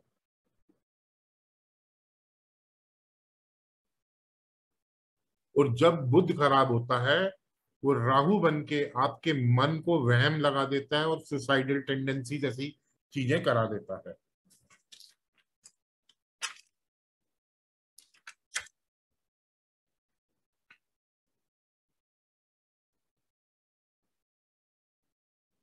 क्योंकि जब बुध अपनी दायरा पार कर लेता है ना, वो राहु के आकाश में आ जाता है, जिसकी कोई लिमिट नहीं है। तब बुध को कैलकुलेट करना उसका दायरा जानना बहुत मुश्किल हो जाता है। बुध एक सर्कल है कड़ा है। अब कड़ा अगर आप देखेंगे, आप कड़े को ये नहीं बता पाएँगे कि उसका स्टार्टिंग पॉइंट कौन सा और एंडिंग पॉइंट कौन सा है। क्योंकि उसमें कोई जोड़ ही नहीं होता किसी कड़े में। तो इसलिए बुद्ध का जब आकाश में आ जाता है, राहु से मिल जाता है तो दायरा या बुद्ध का भेद जानना बहुत मुश्किल हो जाता है। ऐसे ही बुद्ध और बृहस्पति इक्वल पावर्स रखते हैं। बृहस्पति आपकी प्राण वायु है, बुध आपका रेस्पिरेटरी सिस्टम है। जैसे एक बॉल होती है रबड़ की, उसके पीछे अगर वो, जैसे बच्चे खेलते हैं, वो पिंग पोंग वाली बॉल के एक रबड़ की ही स्ट्रिंग होती है उसमें आगे पीछे करते रहे तो आगे पीछे होती रहती है उंगली से। उंगली में फिर वापस आ जाती है, पकड़ लेते हैं, फिर मारते हैं, फिर वापस आ जाती है। तो बेसिकली बुद्ध ने बृहस्पति को जकड़ा हुआ होता है। आपका जो नाभि का चक्र होता है, जो रेस्पिरेटरी सिस्टम से कनेक्शन रखता है, अगर वो रस्सी टूट गई, वो आपकी रबड़ की स्ट्रिंग उस बॉल से टूट गई तो आपके प्राण चले जाएँगे। यानी कि आपकी रेस्पिरेटरी सिस्टम में प्रॉब्लम आ जाएगी क्योंकि तो आपकी प्राण वायु खत्म हो जाएगी। सर मणिपुर चक्र की बात कर रहे हो आप? जी जो नाभि पे होता है हाँ, ठीक हाँ। है? तो उसको वो कंट्रोल बुद्ध का ना कंट्रोल रहता है बृहस्पति पे उन सांसों पे। वो साँसें कंट्रोल करके रखता है अपने रेस्पिरेटरी सिस्टम से। इसलिए रेस्पिरेटरी सिस्टम का कारक बुद्ध है। बृहस्पति नहीं है। बृहस्पति सिर्फ़ प्राण वायु और ऑक्सीजन है। जिस दिन वो ये कनेक्शन कट जाता है ठीक है तो आपके प्राण भी चले जाते हैं। अगर कोई बुध जब लड़की अपनी सीमा पार कर लेती है तो बुध राहु जैसा हो जाता है। यानी कि वो अनएथिकल रिलेशनशिप्स में चली जाती है। वो लिव इन में चली जाती है। तब राहु के प्रभाव में आ जाती है और उसकी कोई लिमिट नहीं होती है। अगर बुध का दायरा टूट गया तो ये पृथ्वी जल जाएगी। सूर्य का जो दायरा बुध ने बाँध रखा है, वो खत्म हो जाएगा। तो इसलिए बुध सबसे खतरनाक प्लेनेट है। क्योंकि उसने आपकी प्राण वायु को कंट्रोल कर रखा। आप हैं तो सब चीज़ें आप ही नहीं है, प्राण ही नहीं है। तो फिर किस चीज़ का? आपकी लग्जरीज कंफर्ट्स सब खत्म है। तो इसलिए जो हानि बुद्ध पहुंचाता है ना बृहस्पति को, और जो आपकी किस्मत पे ताला बुध मारता है इसलिए लाल किताब का सबसे डेंजरस प्लेनेट बुध है। आप दायरे में हो इसलिए अगर आप रूल्स रेगुलेशन फॉलो करते हो बुध अच्छा है। जहाँ बुद्ध बुद्धि है जहाँ राहु के साथ मिल गया कि बुद्धि भ्रष्ट हो जाती है। सर ये बुध को बूच जैसा बनना चाहिए ऐसा हो गया ये। क्या मानना चाहिए? बूच बूच दक्कन। जी बिना थाली का व्यंजन है ना बुद्ध? जिसके साथ जुड़ जाएगा उसके भेद ले लेता है बच्चा। हाँ, बहुत खतरनाक है। जब तक अपने दायरे में रहेगा तब हम्म। तक ठीक है। क्योंकि इसके हाथ में बृहस्पति की चाबी आपकी प्राण वायु है हम्म, आपकी किस्मत है आपका भाग्य है। बृहस्पति फादर है। उल्टी दृष्टि रखता है लाल किताब में बुद्ध।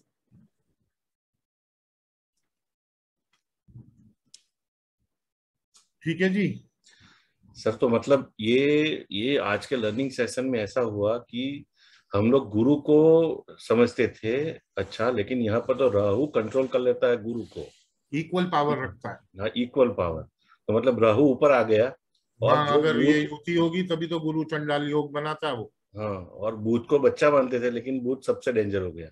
बुध सबसे ज़्यादा डेंजरस है उसके बाद राहु है। बुध को जो बृहस्पति को हाँ। मार सकता है हम्म। लाल किताब में क्योंकि बृहस्पति है। हम्म। पाँच घरों का स्वामी है पक्का घर पाँच घरों का है बृहस्पति का। हम्म। किस्मत है तो है किस्मत खराब है तो फिर खराब है। किस्मत है तो है। ठीक है ना जी? चलिए I think it's almost twelve o'clock we are left with three planets Shani करना है हमने राहु करना है केतु करना है थोड़ा टाइम लेगा। तो अगली बार में हम इनको डिस्कशन करेंगे because I think most of the people have left sir ये आज आपने स्टोरी कल जो सुनाया ना एक दूसरे के साथ कनेक्शन किया जैसे शनि की आपने स्टोरी कही तो इससे जोड़ने को अच्छा लगता है मतलब समझने में अच्छा रहता है।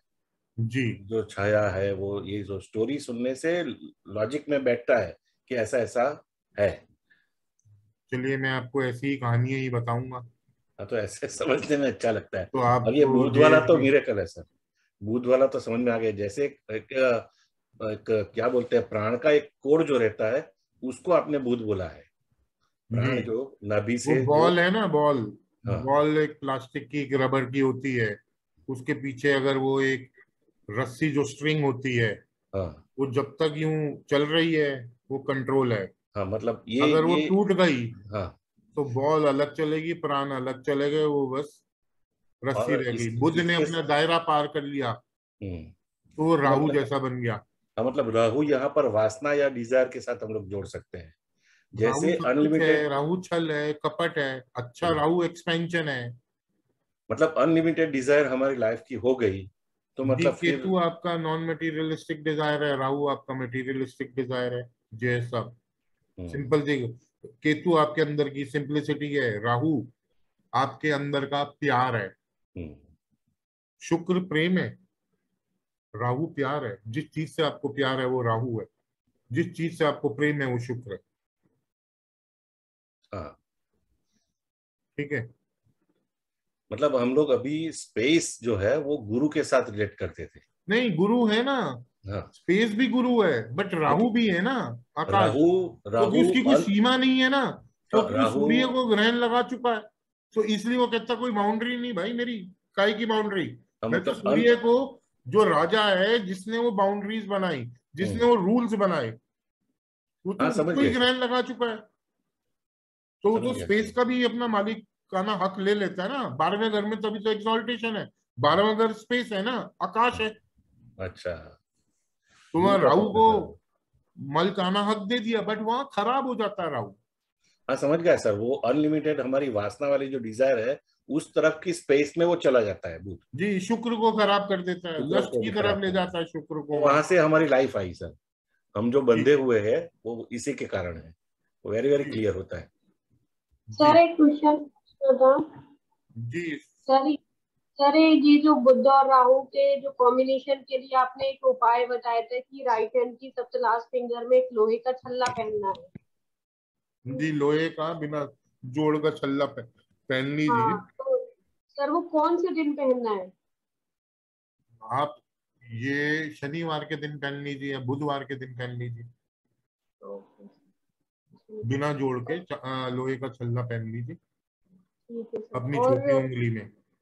जी सर सर वैसे मेरा नहीं है। आ, मेरी बहन की बेटी है उसका है थोड़ा तो इसलिए मैंने पूछा। देखिए चार चीज़ कराएगा ये हो गया तो पागल खाने में पहुंचाएगा या दवा खाना पहुँचा देगा अस्पताल में पहुँचा देगा। या फिर अचानक बीमारी होती जाती है क्योंकि अभी वो बहुत बीमार है ना तो वही दवा खाना हो गया ना अस्पताल वहाँ पहुँचा देगा योग। जब तक इस योग का अपनी निवारण करोगे तब तक कुछ होने वाला नहीं है।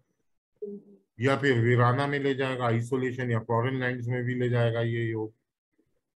या फिर जेल खाने के भी हवा खिला सकता है पागल खाना नहीं होगा तो जेल खाना खिला देगा या विदेश हो जाएगा। डॉक्टर की कुंडलियों में बहुत मिलेगा आपको योग। ये क्योंकि तो वो अस्पताल में काम करते हैं तो योग यूटिलाइज हो जाता है। जितने व्यक्ति फॉरेन लैंड में रहते हैं उनका अगर ये योग हो यूटिलाइज हो जाता है। नहीं तो यहाँ टेंशन देगा। आपकी नींद बहुत छोटी कर देगा। जितने भी लोग सूर्य दूसरे भाव में, पहले भाव में या बारहवें भाव में लेके बैठे हैं ना, वो जल्दी सोते हैं और जल्दी उठते हैं। Early to bed and early to rise क्योंकि क्या? रात्रि आ जाती है। रात्रि शनि की है। सूर्य कहता है कि चंद्रमा की है। वो सो ही नहीं पाता। क्योंकि जब दूसरे भाव में सूर्य होता है तो वो समय कहीं ना कहीं तीन से पाँच बजे के करीब का होता है। और पाँच से सात बजे का समय ऑलमोस्ट पहले घर का होता है सूर्य का। और सात से नौ बजे के करीब का समय वो बारहवें भाव का होता है। तो ये जो व्यक्ति सुबह उठ भी जाते हैं ना, सूर्य दो, लगन, या बारहवें भाव वाले, बड़े विचलित रहते हैं। जब तक सूर्य ग्यारहवें भाव में नहीं आता, तब तक ये विचलित रहते हैं ग्यारह बजे तक। क्या करें, क्या नहीं करें, ये काम करें, वो करें। तो किसी को भी प्रिडिक्शन दे दीजिए। These people will sleep early and get up early most of the times और सर ये जो अंधा टेवा वाली आपने बताई थी कि अंधों को खाना खिलाना होता है वो भी किसी पर्टिकुलर दिन पे खिलाना होता है कि कभी भी? शनिवार आप खिला दीजिए शनिवार को ब्लाइंड स्कूल में खिला दीजिए। साल में एक बार खिलाएँ। साल में दो बार खिलाएँ। या फिर आप तीन बार क्वार्टरली खिलाएँ या मंथली खिलाएँ वो आपकी श्रद्धा है। जी sir okay sir thank you sir ठीक है जी जयेश साहब।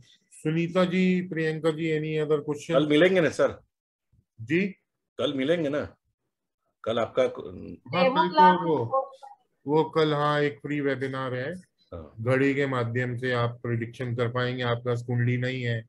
आप सड़क पे हो कोई फ़ोन आ गया तो सेम टाइम सेम टाइम पे मिलेंगे या नाइन टू इलेवन तो आप उस टाइम घड़ी से ही अपनी कुंडली का इंटरेस्टिंग निवारण बन बन सकते हैं और सारी प्रिडिक्शन कर सकते हैं। ठीक है ठीक है। आप एस्ट्रो वास्तु भी कर सकते हैं आप प्रॉब्लम भी ढूंढ सकते हैं आप रेमेडी भी दे सकते हैं। तो सब चीज़ें आप देख पाएँगे। ठीक है ठीक है। क्योंकि इसमें ये हमारा फिर कोर्स है which will start three days course है। That course will be from Saturday Sunday and Monday timing timing will be like 9 to 11 only for अच्छा। those courses. तो ये तीन दिन का उसमें डिटेलिंग है जिसमें आपको मून ट्रांजिट भी है और घड़ी के माध्यम से आप प्रिडिक्शन भी दे सकते हैं और एस्ट्रो वास्तु भी आप कर सकते हैं। ठीक है।